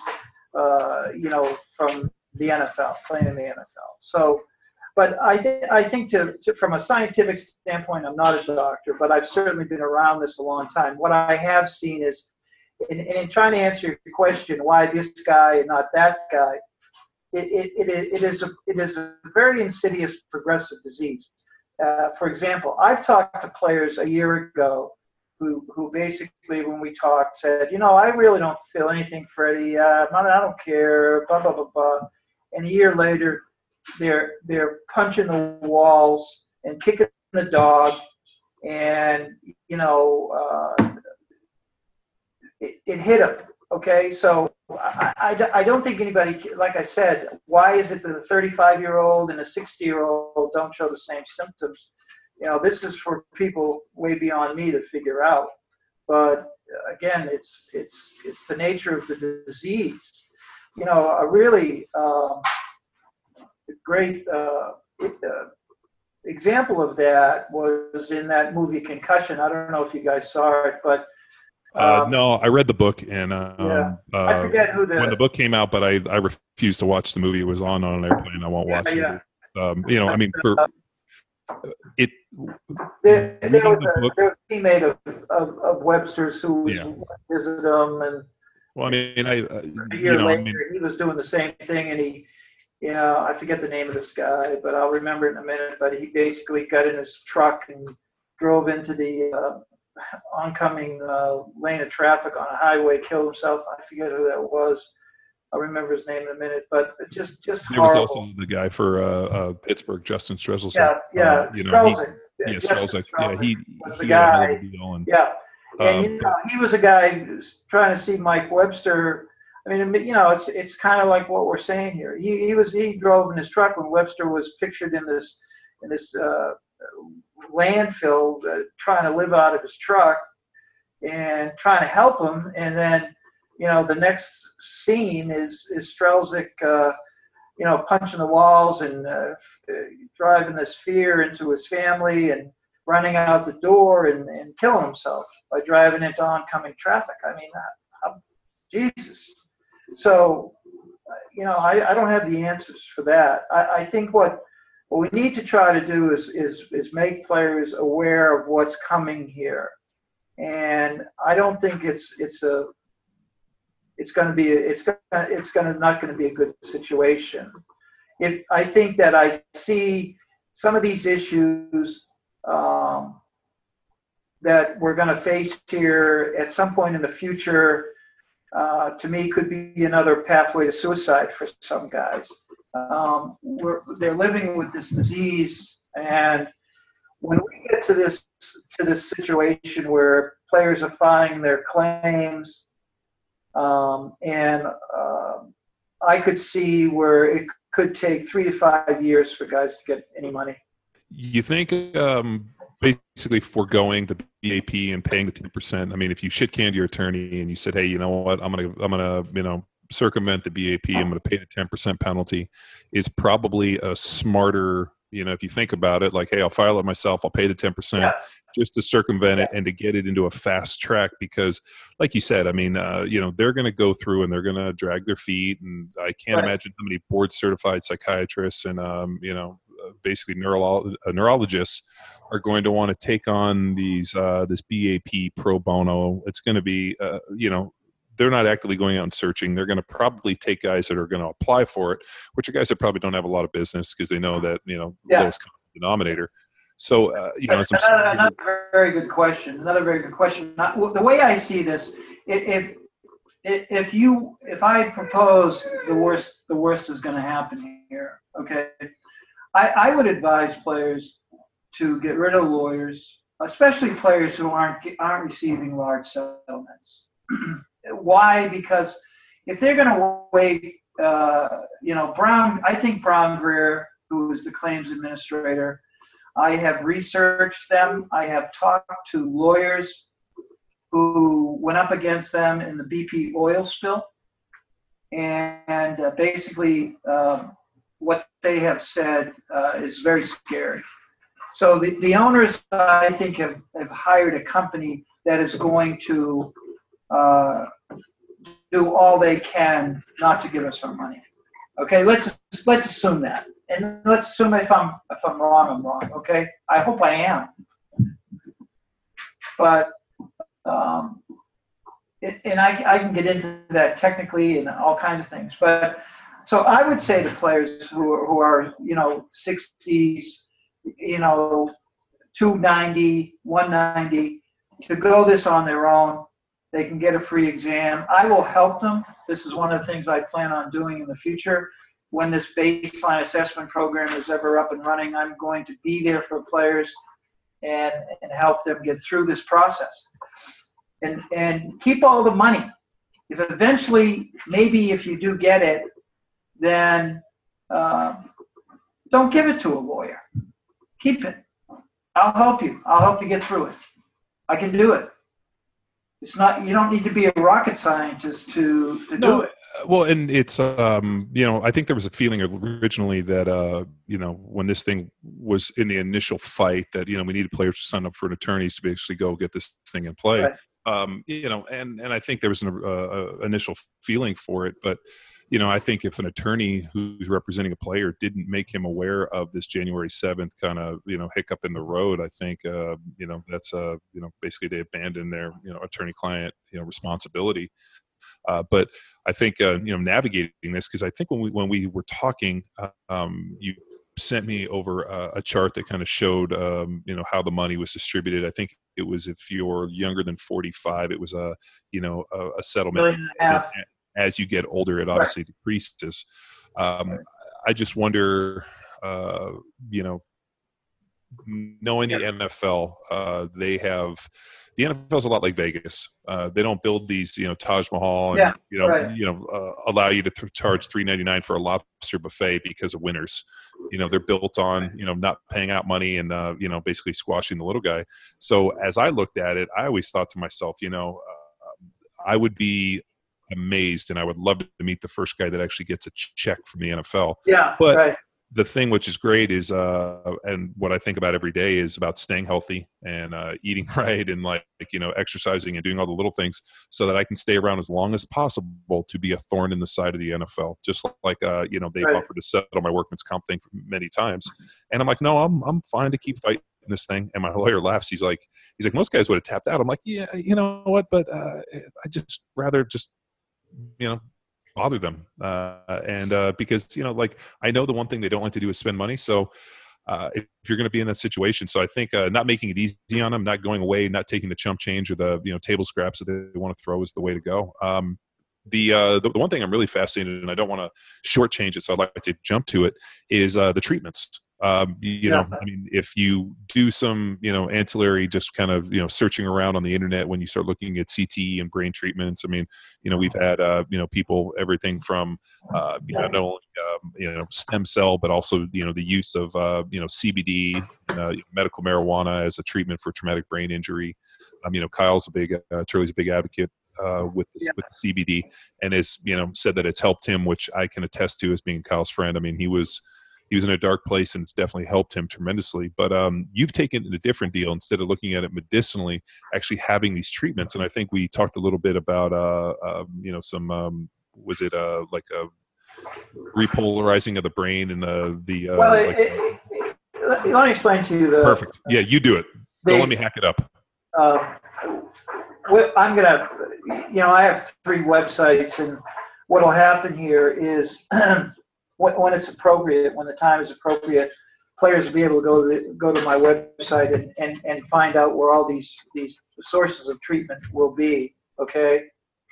And uh, you know the procedures that'll be in place and whatever we can do about getting them treatment. Um, we, we do something in the treatment process where we something called QEEG brain mapping, and it gives us a very vivid picture of the, the brain when we start treating players. It's sort of the first step in this process of treatment, and it'll identify what's called hotspots in the brain. So uh, this is why this treatment has been so amazingly effective. Uh, the process of it. So. Uh, we can we can take the, the brain map and we can see the hot spots in the brain. And, and this goes back to where we had the discussion that when tau protein is released and it wraps around brain fibers, okay? So we can actually zero in on areas of the brain that uh, affects that are affected. We can see them, and that's where the behavior comes into play.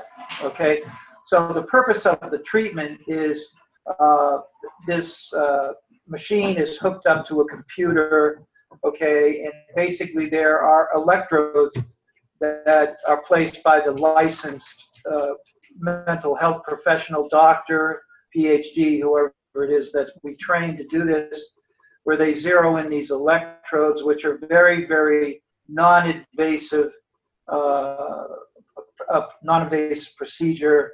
The, the power of these lec- electrodes is less than a double A battery. So there, there's nothing involved from an invasive standpoint of all. Basically, the treatments last about 40 minutes, and the player basically sits in a comfortable chair. Uh, many times, players will fall asleep. So we get through this treatment process. Uh, we're, we're attacking these areas of the brain that are affected, okay? And that way we can get in and basically we have a term that we call unstick these areas of the brain where they're stuck on behavior, whether it's depression, anxiety, anger, sleeplessness, all of all of the all of these behaviors uh, issues that come with this disease. We address all of them with these with, with the placement of the electrodes. Put, trying to keep this very simple. Um, in the two-year study that I just completed, we put players uh, through this uh, study where we did we started out we did the brain map, then we gave them 24 treatments. Okay. At the end of the 24 treatments, we did another brain map. Okay.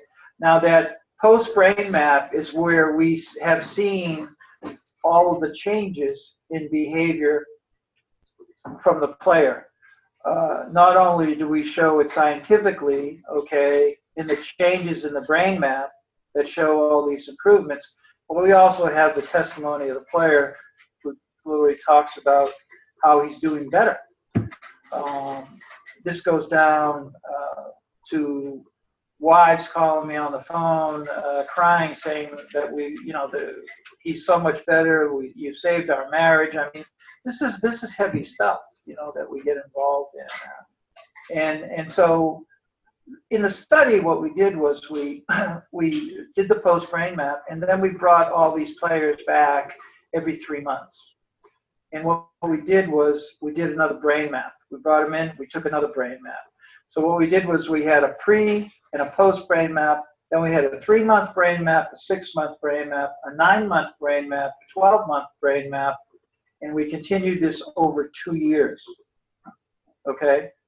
And what we saw was absolutely no changes in the brain maps, and that the players who we leveled out behavior wise have stayed level. Is amazing. Uh, what we see a lot of times, and there are test, you know, I, I use some testimonials. Can you Uh, get into the chemistry of this? I mean, um, you know, uh, like, how is it that the you know the process is able? I mean, does it effectively unbind the tau from the? Uh, Yeah, we call it unsticking. It kind of unsticks these. In other words, you, you, you can see, I, I hate to use a, a player as an example, but you, you know players. I'm not going to name players, but you, you know players and you see their behavior. And you kind of say, Jesus, I wish I could do something. This guy is so stuck. He's so angry. He can't sleep. Uh, he, he's, he's getting worse. Okay, so, so the, the simple explanation to this is we have this ability to unstick that, unstick that anger, unstick that sleeplessness, unstick that anxiety, unstick that depression. It is amazing. Um, uh, I've been very fortunate to have uh, discovered this. So, uh, you know, we continue. Uh, you know, my, my goal is to make this available to players at some point all around the country, so they can they can take advantage of this treatment. Now, again, uh, the experience I've had talking to players, you know, players have said, you know, I felt better when I when I went in an oxygen tank, or uh, you may say the medical marijuana may be another. Re- it doesn't matter to me, you know, uh, what what they do. Okay, if if they if they can unstick this this behavior using some method to do it, they're way better off. Not only are they better off, their families are better off, their quality of life is better off. I have I have treated players, I have to tell you, in worst case scenarios, they wouldn't come out of their bedroom. They would they they wouldn't drive a car. They couldn't drive. They wouldn't get in a car, and they, and they're functioning. Now, Fred, I know you're on really the other end of the spectrum or the, the tail end. Is but are you plugged into any sort of preventative research uh, for for younger players? You know, uh, Yeah, the, Yeah, yeah. The NFL is Yeah. you know Uh, you know what the preventative research is? don't, Don't play. Play football. yeah, and because But I mean, uh, like, uh, like it or not, the NFL is a world stage, and and what Yeah, they're and guys doing are still is, gonna have is the trickle, they're going to trickle down, and ho- hopefully there's strides being made at that level that trickle down to NCAA, which then Well- trickles down to Pop Warner. well, It- think but- about this. I mean, if uh, if you know, like Fred's uh, you know, treatments in that way. I mean, if there is almost like a preventative treatment deal, and I always thought like, what well, we if, talked to Dr. Ford about you know just the effects of impact on the brain and uh, well, we high doses of sugar, Well, I mean, and that there's chemi- chemical. yeah, chemical changes through uh, you know, not only um, uh, sugar and like the deterioration. You know, I mean, we had uh, Perlmutter on talking about grain Same, brain yeah. that uh, you know, gluten X is a way to deteriorate lining and and reduces the brain's ability to heal from traumatic injury. Uh, Ken Ford, who's our uh, you know good friend, who's the head of uh, human and mental cognition, the uh, uh, which is a, a a not or a, a for-profit down in Florida where he's a you know advisor to NASA, and uh, we've been looking at something like you know like ketogenic diets for not only treating cancer but also uh, you know being one of those things because if you go back and you look at the literature the way they've treated most traumatic brain injury over the last hundred years before you know the advent of drugs and pharm- pharmacology was using something like ketogenic diets Mhm. so i always thought that there would be kind of this uh, you know melting in, in i guess you could call it a different ways of not only a uh, you know taking things that are preventative i mean you know you could say you know using you know some form of uh you know they know that you know people that take fish oil and have higher amounts of omega-3 tend to you know have better brain health i mean we know that from tom Incledon. i mean you use something like a ketogenic diet you know use something like uh, you know fred's machine where Ketone you know, salts. yeah ketone salts but also let's say uh, you know a player goes in and you know at you know post game they bring the player in and they said how'd you feel he's like well man you know i got my bell rung pretty good i was you know blurry vision whatever and you're like well you know you get 45 minutes in the chair and um you know i always thought that there would be at some point like some like helmet that i could put on that had some Yeah. form of brain mapping or something that would increase the health of uh, of my brain um, I- just don't think it's going to be a priority until the NFL fucking rears their ugly head and actually makes it a priority and puts the money forth because unfortunately they have this endless supply of potential new people Yeah. and um, The you fame know, game, man. The fame Well, game's hard but- thing to turn down. well, yeah, I mean, and and the minute you exhibit any problems with this, you know, then hey, you know what, we're going to get somebody in here who's younger and cheaper and dumber and not ask as many questions. so I mean, but that's the nature of it. And they just have this endless pool of guys to chew up. So I think, uh, you know, most guys. I mean, and the the, thing which uh, kind of pissed me off a little bit was with the NFL and just these people being like, oh, this is things that only happen to guys way down the road. But yet we know that's not the case. Where uh, you know that kid who was uh, at the Kansas City Chiefs, you know, killed his girlfriend and then showed up at the facility and, and shot himself. And they took him in, and he had uh, severe CTE, and uh, you know And he didn't have a lot of snaps, right? He was a rookie. NFL, right? he was- I think he was a rookie or he was going into a second year, and they've had it and they found it in high school kids. So I, I think this problem that we've pushed down the road and said, oh, this just only happens to old broken down 70, 80 year old Yeah, NFL players who were bad. Yeah. Yeah. Who, who played in a deal where they were, you know, fucking leather helmets and this and, and uh, it's not the case. Mhm. Um, I, I really think that, you know, this problem, and the problem is you can only diagnose it after death, Yeah. you know, and it's a kind of POD deal. And uh, I think almost being able to do, uh, you know, understand the process and then being able to put some safeguards in place. You know, I mean, uh, I have a little boy. Uh, you know, I have a son, and I would imagine someday he'll want to play football. And you have to be able to make that decision. Or as a parent, like, how do you mitigate these problems that you know that are going to manifest? You know, is, is it a is it a training thing? Is it a nutrition thing? Is it a sleep thing? Is it a recovery thing? You know, what's all of them. Or it's it, it's all of them. It's Yeah. all of them. Or cutting edge progressive technologies like Fred's working on. Yeah, well, that's why they're localized these localized. That's probes. why my son wants to play football, I'm going to go kidnap that machine that Fred has and bring it to my house. Yeah, well, it, you know, the, it, it's interesting. Uh, you know, you hit on something. You know, and and, and pretty much all all the conversations I've had with players, it's uh, it's kind of like we get on this one subject. Um, you know, our generation, John. Uh, I think today's players are. I think the NFL has finally made themselves, from their own greedy standpoint, aware of the value, uh, and, and that's only based on the money they're paying players today. So there are things in place to protect their asset. That's that's that's what's in place today for players who are in the NFL. They're protecting their asset. The problem in our generation, for all the players through the through the 70s, 80s, and be and beyond until you know today's player, in the changes that have been incorporated, which is only recently. Um, the the reason why we went back into the game, the, the sole reason, and I think you'll agree with me because every player does, was not a fear of concussion. It was it was basically a fear of losing our job. The nature of the game was such that well, back in the back when I played in, in the 70s, uh, late 70s and on, uh, God forbid you made money. I mean, if you if you were making more money than anybody else, your fear was all of a sudden me being a running back or you a tight end, and some kids come along and making the minimum at nineteen thousand or twenty one thousand, and you get hurt, and you come out for a play, and that running back goes in and breaks a long play, and, and when you should have, you could have done the same thing if you were in there, and all of a sudden you're saying, "Oh shit, now what?" And and the owner sitting up in the box says, "Boy, I can get rid of Willis, and I can get this kid for nineteen thousand. I mean, that's you know, look, that's we we, we went back and exposed ourselves out of our fear, our pride of, of losing our jobs, losing, you know, that was our life. That's why our brotherhood is so strong. We all understand this. And, and you know, uh, if I'm going to be exposed or people are going to come after me because I speak for the brotherhood, fine, let them. I don't care. But, you know, I can deal with it. But, so, you Fred, know, what type of what type of people are coming real- after you? What are they saying to you? I, I mean, uh, uh, no, I mean, like, Is yeah, it just people who are like, "Oh, these guys should know better. Well, They're I- getting paid a bunch of money." no, there, there, there are there are lawyers that are that are trying to shut me up. I mean, oh, on that side of things. Okay, Well, I see what you're saying. so like minivans, like uh, like dark minivans have shown up in front of your house.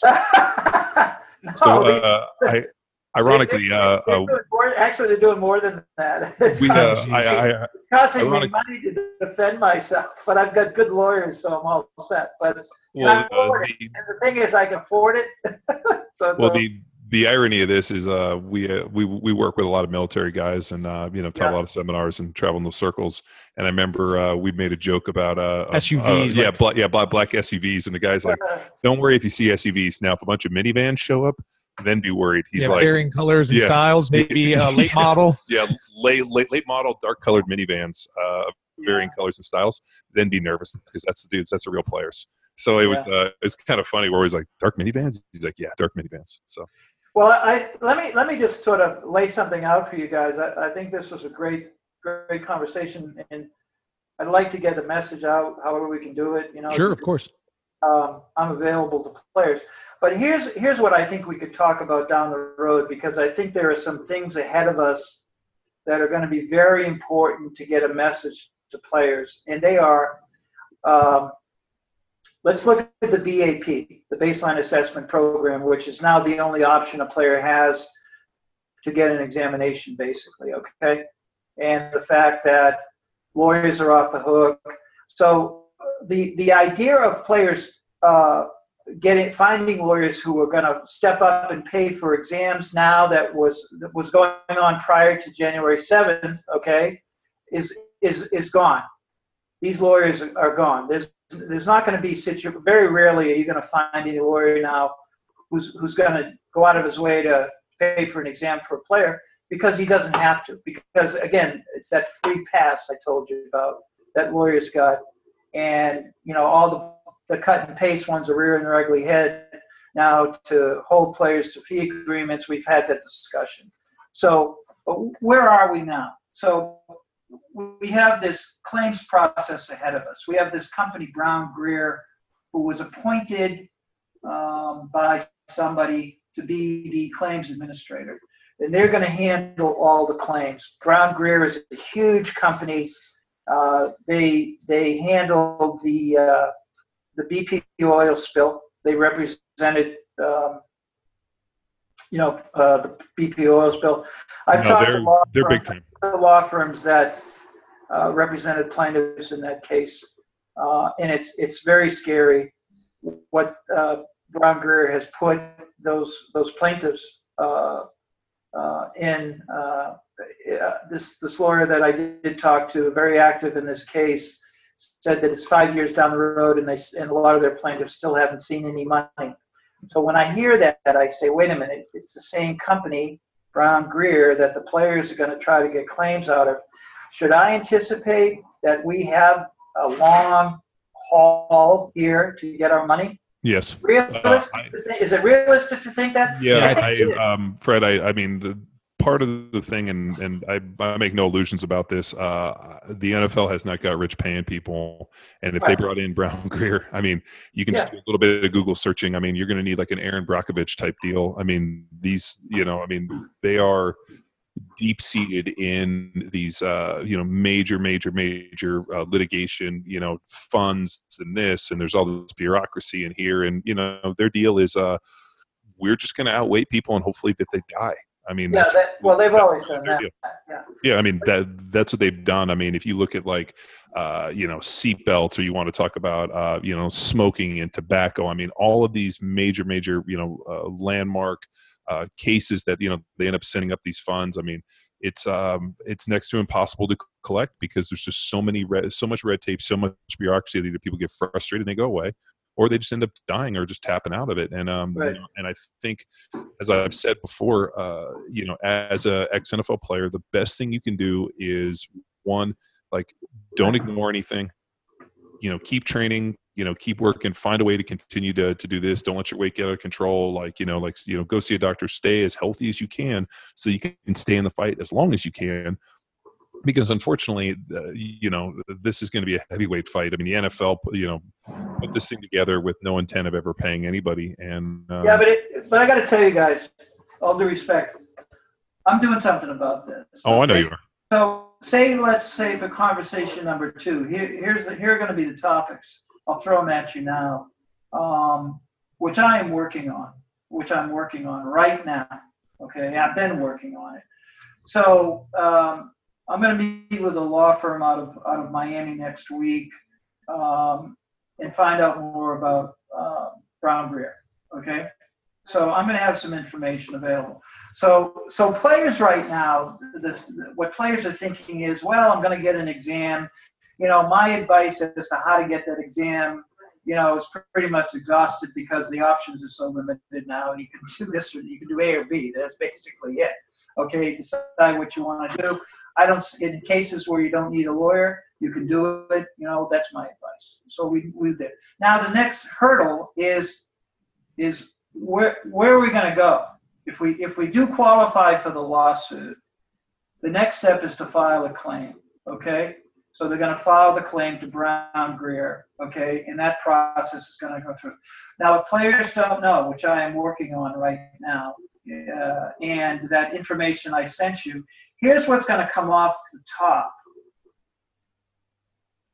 Okay, so players are thinking uh, I'm going to get a $500,000 settlement. Well, I'm going to pay 20%, 25% to the lawyer. Okay, that's gone. Now, the next big hurdle that players know nothing about. Okay, well, then let's say, uh, let's let's just keep it simple. Uh, 25% to the lawyer, 5% to Chris Seeger for, to pay his law law firm money down the road whatever that adds up to, multi millions of dollars in his coffin of our money.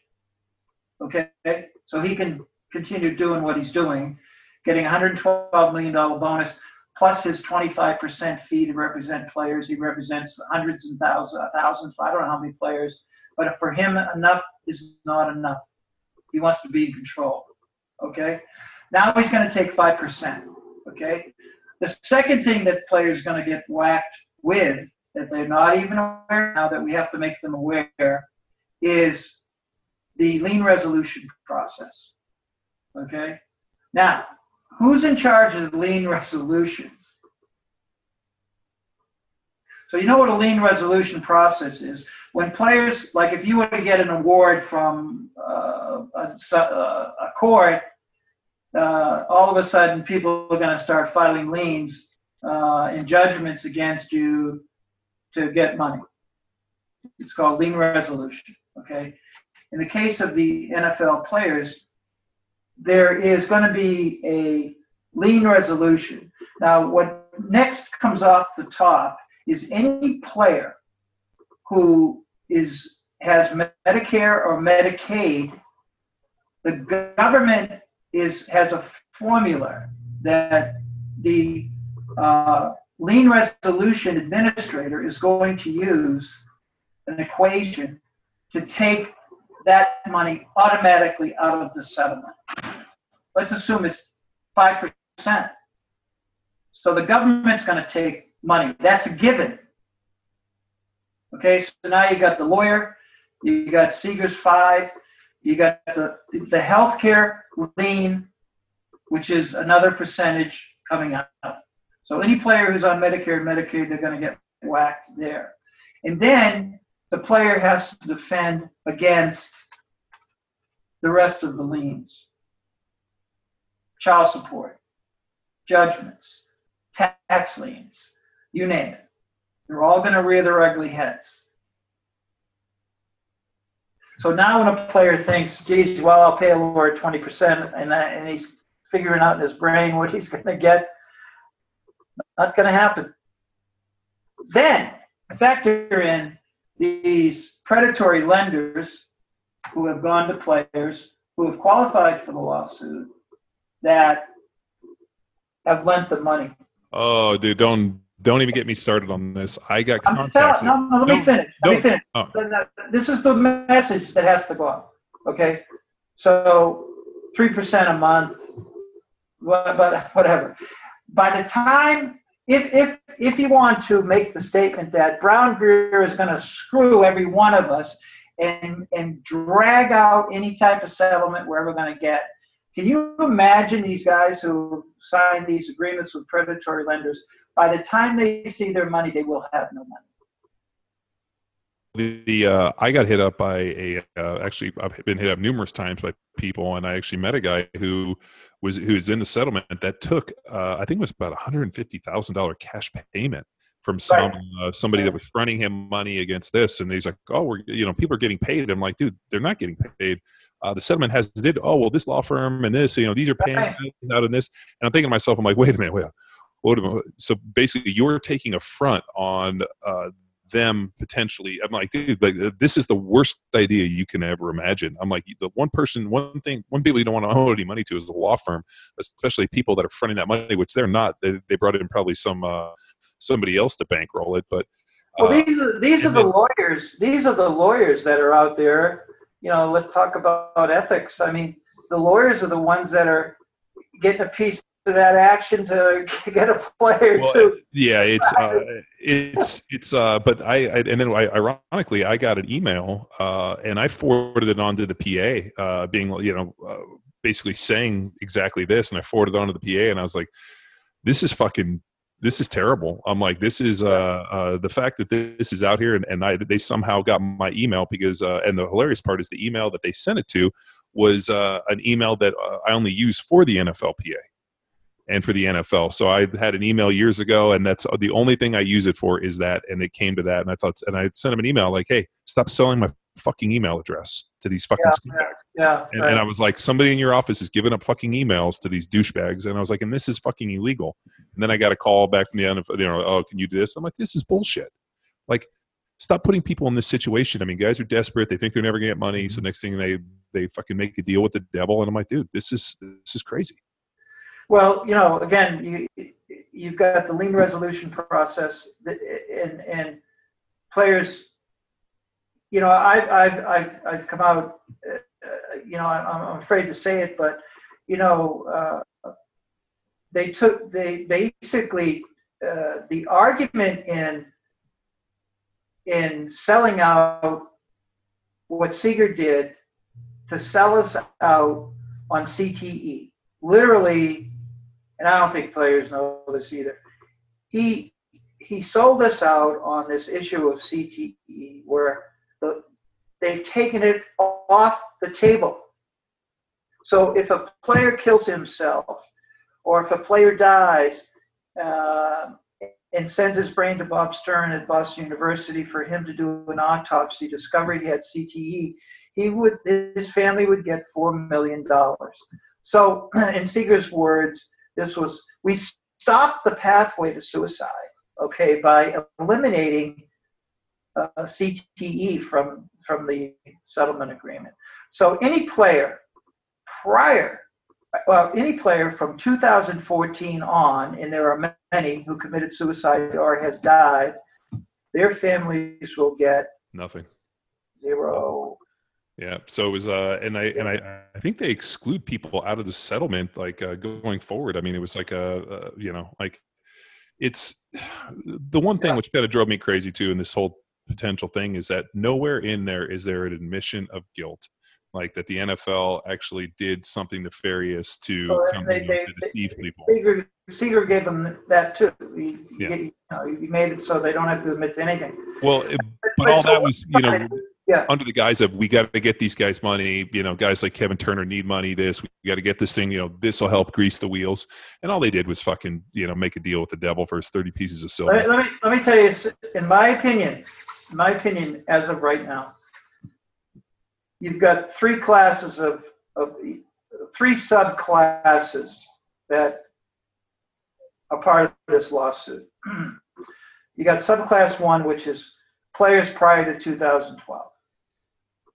That group is made up of of um, Seau, Duerson, you know, all the guys committed suicide. From 2012 to 2017 is subclass two. So th- this is us. These are all the players who are part of this lawsuit that uh, either have qualified or haven't qualified. Okay, prior to January 7th.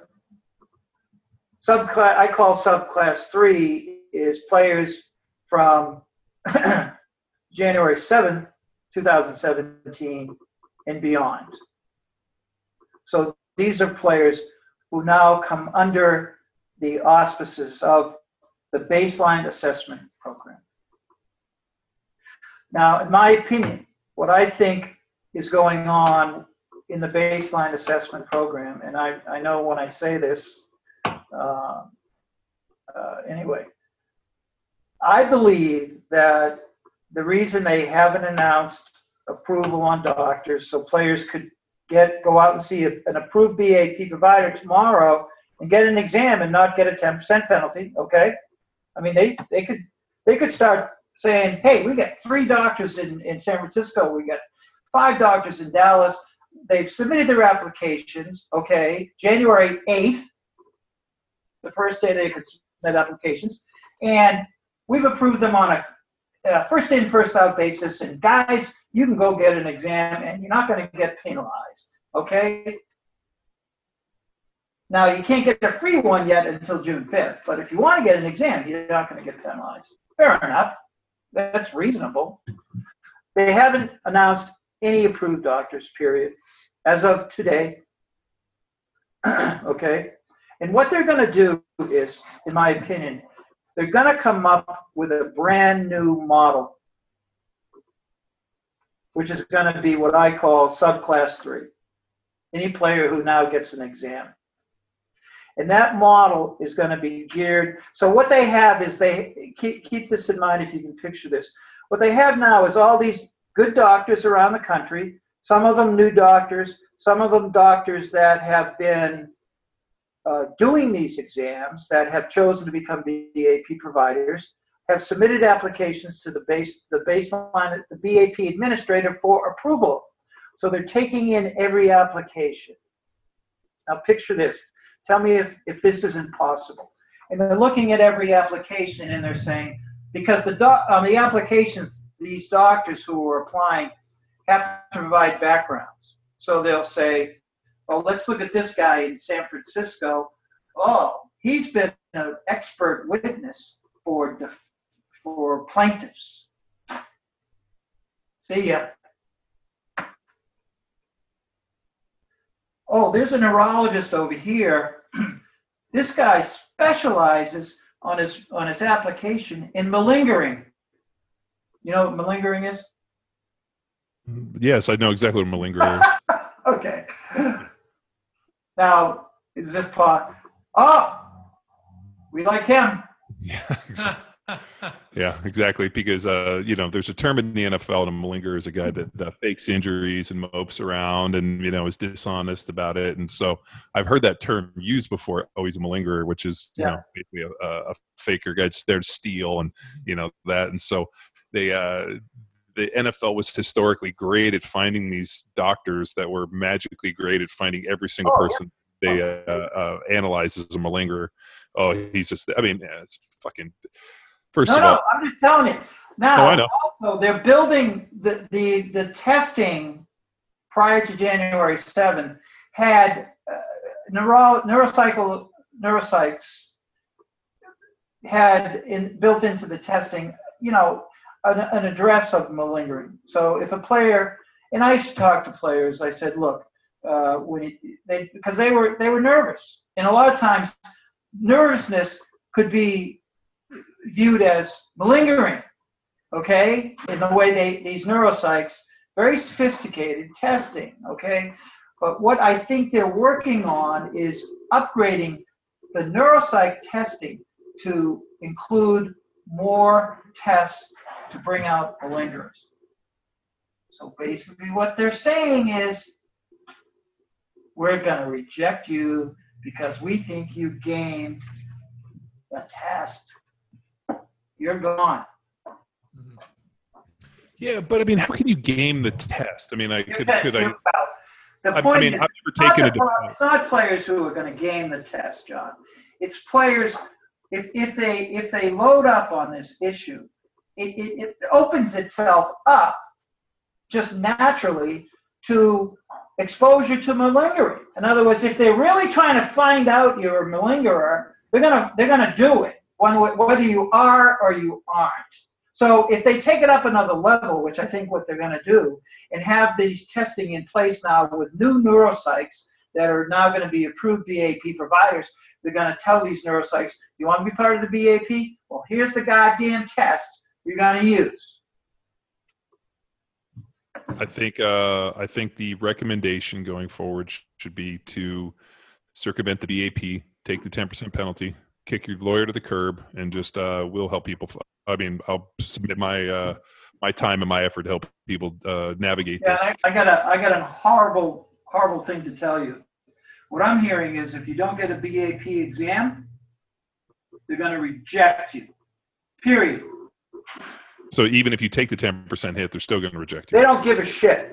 You do it their way, or they're going to reject you. Hmm.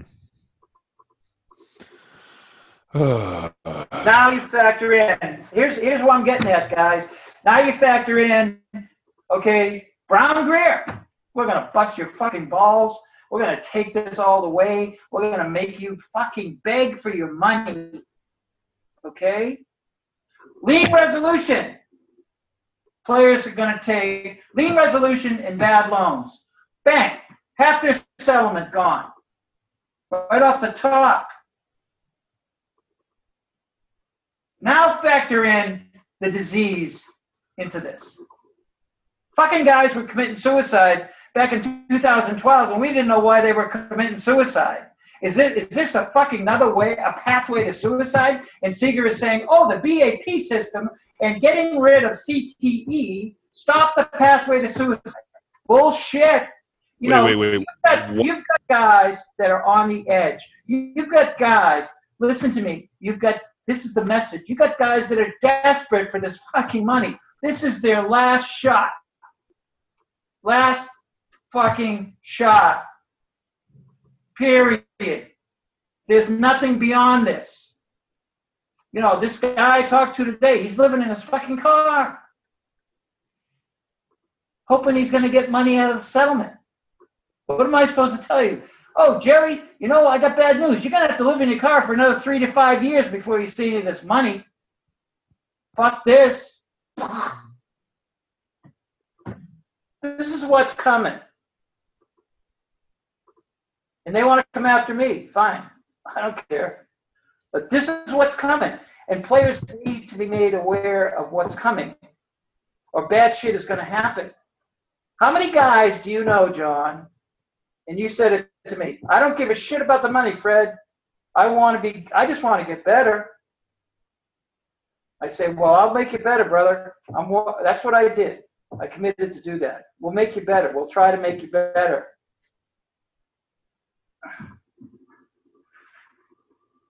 So I guess Fred, what you're saying is, you know, that's a solution to a shitty situation. Is hey, the fight's not even close to over for these guys who might be relying on this in desperate time of need. But with some of the research that you guys are doing, it will Here's, put. here's, here's what I'm doing, and just so you know, here's, here's what my time is spent now. It isn't so much advising players what to do because this is coming. Okay, they they have very few options left as far as qualifying. You know, it's their way of the highway. We know that way. So um, what I'm trying to do is I've, I've searched out companies that can talk about possibly structured settlements or, or being in place to make players aware that they may have some options against some of these things that I'm anticipating are going to happen. So, so I'm working on that now. Okay. Um, I've also come up uh, with a, a, a statistical formula, if you can believe it or not, that I just finished as a hedge against the 10% penalty. so what I'm trying to do is uh, convince some people to um, get back in the game with um, paying for exams. And I've created a hedge against penalty so the player is not going to see any penalty. It actually ends up being a give back back to the player if if the doctor qualifies. Um, how are they selecting the doctors from the BAP? I mean, is it do do they have to apply out to them? Like how, like what's the, or do we even know the process? Yeah, the process is that uh, number one, uh, you know, they have to they have to find at least I don't know 800 doctors, okay, to fill up 53 cities, and um, you've got uh, uh doctors that have been doing exams have filled out applications. You've got other boards, they have to be board certified. So you've got other doctors who have applied to the BAP. Now, a lot of the good doctors, when I say good doctors, certain doctors who are board certified doctors won't even bother with becoming BAP providers because they're going to get paid less money. Uh, the BAP is going to is not going to pay the doctors what they're used to charging for these exams. They're going to pay them less. So then the, the option they put out there is a doctor can qualify to become an MAF physician, which means they're not a BAP provider, but players can see an MAF physician. But the cost of the exam is going to be the, the normal cost that they would charge it, you know, normally. So they're not going to take the BAP discount, if you will. So those are the MAF physicians. They haven't been announced yet. But it's going to be okay for a player to see an MAF physician, but now uh, they have to pay for it. Or if they're approved, um, see, that's not a free exam. The only free exam is the BAP guy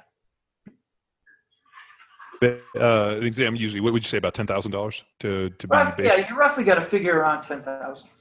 I mean eh, you know the, the some of these law firms they you know basically the package was you know if they had to send the player to a city uh, to to get examined they provided the travel the hotel whatever.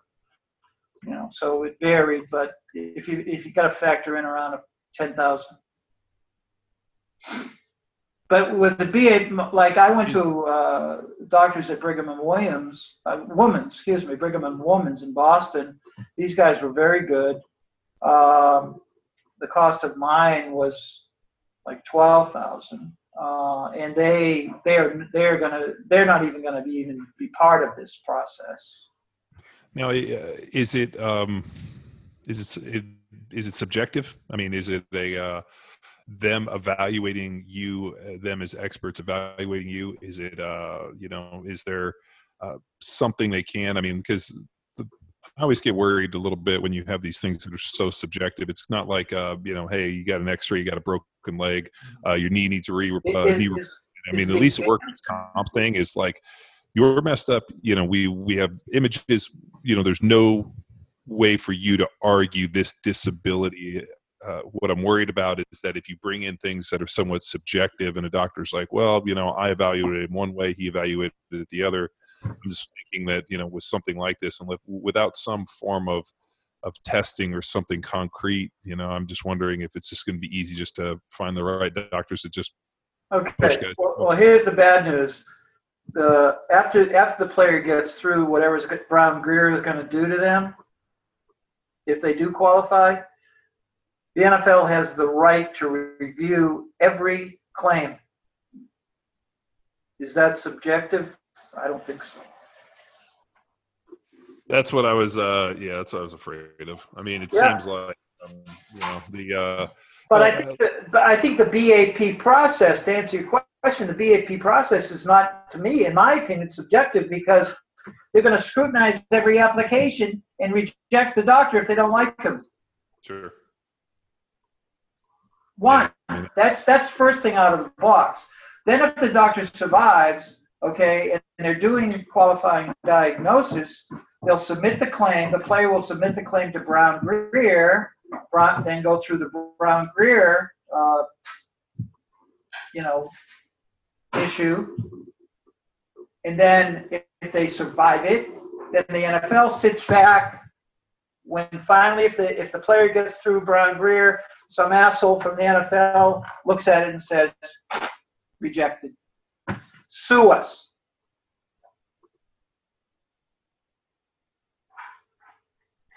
Wow. Yeah, that's and they got deep pockets and good um, lots of attorneys. You see my fear here, and and you look at the nature. Again, I, I keep going back to. I understand the nature of the disease, and this is not going to be good. I mean, some guys are going to say, "Freddie, I don't give a shit. I don't care. You know, it's not worth it." And I don't know. Is it going to be worth it? Oh, it's always worth it. It's always Well- worth it. I mean, I think uh, you know uh, the one thing which is where I think people you know get tired of going through these fights, but I think uh, I think you got to always be up for the fight. You got to be up for the challenge. I mean, and and uh, you know, I mean, it's at the end of the day. Uh, maybe you got to take the. Uh, I always have to go to the literary reference with uh, Beowulf and uh, basically fight the good fight. And you know, it's what you're doing. Uh, you know, you're fighting the good fight. You're, you know, putting yourself on a trajectory which isn't a favorable one from just sounds like some of the trials and tribulations but you're actually doing something out there to help people and to help this thing along and, and provide uh, you know uh, provide guys with information but it's really a david and goliath deal man and the nfl is uh you know is the fucking evil empire and uh you know they're you know they put this whole thing in play to you know and they've set it up in such a way that i think they're gonna like like you said they're gonna if you're a good little boy and you come in and beg and don't cause any tr- trouble then you know what? We'll grant you your money if you uh, have caused any problems or say anything or do anything or don't you know kiss our ass then you know what? Fuck you. We're gonna we're gonna kick you down the road. So uh, it's unfortunate because uh, you know right is right but you know it seems like uh, you know in today's world whoever writes the check is right not necessarily what, what is right is right so it, it's, Well, you um, know, the, the sad thing is, is the lawyers who have represented us have have sort of uh, duped. They think we're stupid. They really do. They really think we're just all stupid, and and they've explained this, to my knowledge, what I see to date, where ah, don't worry, we we you're gonna get your money, and da da da da. This area, you know, I mean, how can they do it? And then behind our backs and under the table they're taking 112 million dollars. Plus 5% oh by the way i'm taking 25% chris seeger is telling his players that he represents i'm taking 25% out of your settlement and oh you're kicking me back another 5% what the fuck? It's, it's filthy. filthy. and don't listen to that fred willis he's, Ugh. he's poison he's, Fred, he's this is- doing this for money this is twisted, man. And uh, you know, I, I guess a message to our listeners too. Even if you aren't a former NFL athlete, try to get this episode in front of uh, in front of anyone that you know that might be associated, because there's probably some people just silently suffering out there. So, uh, you know, with that said, Fred, what what is the first line of contact uh, to get some information from you, or or where should people go if they want to? Uh, Yeah, I mean, they, they they, they can go to, you know, uh, they can Google me, you know, Fred Willis, and they'll, you know, they can eventually go to my websites. I mean, you guys could put my cell phone number on on the air if you want. I could care less. I'm I'm I'm ready to talk to as many players as I can. I think at some point, uh, you know, I'll I'll do some email blasting uh, to guys, um, and I have pretty good success in, in getting a message out. Uh, I want to be very careful with the message, though, uh, Sure. and I'm working on it. I've been working on it a while because I've kind of been digging deep into what's next here, and I think the next the next big thing is is going to be making players aware of what we talked about today. Right. Um, and I think you'd have to understand if if I could have had this conversation with with ten thousand players, I think you'd probably know more about you know honestly you know more about what's going on than you did yesterday. Well, I was going to say, Fred. I mean, uh, when this thing goes live, and we, you know, because it's pre-recorded, we go back, we edit it, and you know, you know make it, you know, pretty it up. And uh, I think what we should do is uh, when we, you know, when we blast it out on our on our social media deal, uh, maybe you know, we'll kick you the links, and if you want to blast it out on your email uh, list, Yeah, I'd love to have this where we could get this uh, interview out to players. I mean, well, I mean, that's we're going to push it on our network. yeah, Um, I think the natural thing for you is when you send out an email blast for you to link it up and say, hey, you know, um, uh, you know, recently did a podcast with X NFL Yeah, player I mean, put the link on there and get it out there. and You know, it, again, it's it's You it's a big contact.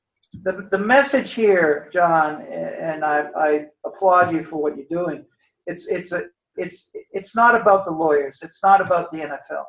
This is brother to brother. Okay, that's what this is. Okay, when I when I help players, I talk to players. How I've been able to help many players is because I've talked to a player, and then I want you to, Fred. I'm going to have so and so call you. Okay, that's how this works you know i'm not selling anything i'm not advertising anything you know Mm-hmm. Which is a unique thing in this day and age. You know, Yeah, someone mean- in it for the, the you know, we're we're the same. We want to do the right thing by the Yeah. right people, you know, and just make sure everybody's better. You Well, know, that's uh, that's the goal. Yeah, I mean, and battle the bullshit snake oil out there, Yeah. like all this Well, this our mission. nonsense witchcraft that you're talking about outside of uh, these legal representation and right. and these hoops and ladders that that are put in place for these guys who are entitled to a settlement. Man, that's what the court. Ah, yeah, no. Well, I mean, it, it's it, it's really the mission statement for Power Athlete is the idea of battle the bullshit.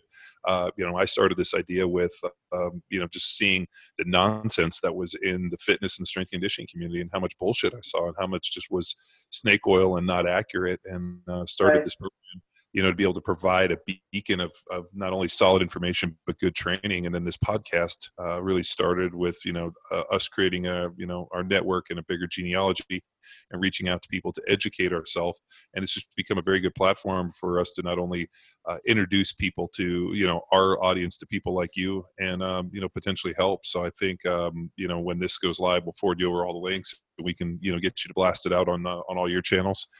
And hopefully guys will be able to you know put an hour or two together to listen and basically get educated and then find a way to connect to you and and even reach out to me and see how we can start helping people because uh, uh you know you don't have to be uh, jaded to see that there's a, a, a lot of uh, very you know interesting issues with this and Yeah. um, you know, well what, you're right 100% right and what what one of the things i'm trying to do now is i've had meetings with a number of uh, i think solid companies that understand my message uh, and these i'm trying to bring some companies uh, in the to the forefront here that um, will help players with the lien resolution issue uh, may be able if and again it would be the players players uh, decisions on how they but make make make options available to them with what I see coming. Okay, I'm working on that now, Mhm. uh, and I've had uh, for the last two weeks have talked to a number of companies, um, checked them out, um, and think that uh, they could they could be helpful to what I see coming here. Okay, and I'm going to put it out there, you know, the right way, and and uh, say, guys, here's what's coming. You know, talk to these people. They they they have expertise in lien resolution. They they understand the process. Okay, um, I'd like to get petitions signed. You know, this guy Seeger is trying to go under the radar here. Read that uh, notice I sent you, but players have to go put, go through hoops to object to his motion to get his 112 million dollars. Have to have to fill out things in writing. I mean, literally, the way he's presented this, you know, and you know our attention spans are about five minutes. they're gonna look at this and they're gonna go, "Fuck this! I, I don't like it, but I, I can't spend half my day trying to answer this goddamn thing." So I had a conversation this morning with a law firm that surfaced uh, that is objecting to, and they're not even part of the concussion lawsuit. They represent players. Um, and uh, I've talked with them about this, and we're working on sort of a short form that we could get out to players where these lawyers would provide a system where, you know, in five five minutes or so, players could object to the 112 million dollars and the five percent. So Oh, be- that's coming. Okay, that's coming. That's going to get out Oh, there. We got to get that out there. But you know, if, if we get it in front of players and see what this guy's trying to pull, we've and then the other thing is, can you believe anything in the courts? This guy's got this thing. If you don't respond in, in like three or four weeks, he gets the money. it takes guys two weeks to read my emails sometimes. so this guy is this guy is pulling one over on everybody, and I'm fighting that fight. We're gonna try to get something out there. So however we get it out there, we get it out. But you know, Well, let's hurry up and we'll get the that. fast track Five and uh, percent of your and- settlement plus twenty-five percent of your settlement plus hundred and twelve million bucks. And oh, by the way, you're acting in my best interest. You negotiated this fucking settlement, okay? Right. So there you have it. Well, once we get that info, I mean, uh, you know, w- with what reach we have, we'll certainly spread the message. I know, you know, just John, based off of your ten, I mean, you know, However it's we get it out there, we get it out there, you know, and we uh, owe it to we owe it to contribute to the fight, right? Yeah, Like you said. battle the bullshit. I mean, uh, yeah, and uh, you know, Fred's got a good contact list, so yeah, we'll, and uh, you know, we'll forward to as many guys as we can, and hopefully uh, get this information. And you know, and if guys need treatment, you know, and uh, you know, need help, yeah, we'll and get to, you know, we'll, we've got the treatment moving and with that's going really well and, you know, we'll, you know, we'll get some help, you know, get that out there when it's appropriate where guys, you know, we got to get them through this hurdle first. Yeah. Hopefully a lot of these guys are going to qualify for the 88 plan and, and then they is can, it something where if a guy, um, you know, went in and had the treatment done, your treatment, uh, would it be something where he would not qualify? So you think like, well, you know, here's, here, yeah, and that, again, a very good question. Um, what, what my concern would be is if we started treating players prior to the, the exam, the neuro examination, it, it could possibly skew the exam.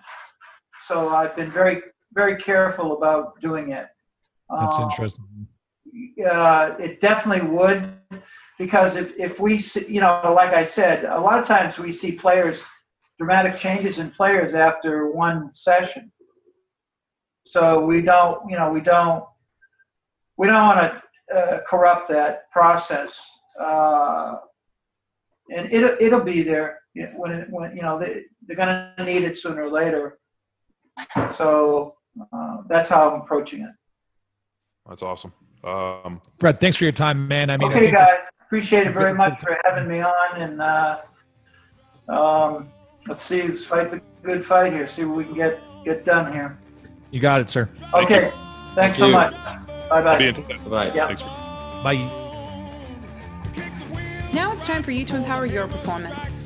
You heard Mr. Willis? If you want to join the fight, start by sharing this episode with your athletes, teams, and coaches. Also, take the time to check out his website, www.hpnconcussionmanagement.com. There you'll find the most recent research findings and the signs and symptoms of concussions. Willis not only helps you identify your brain related injuries, but provides step by step instructions on how to manage and treat them. Until next time, bye!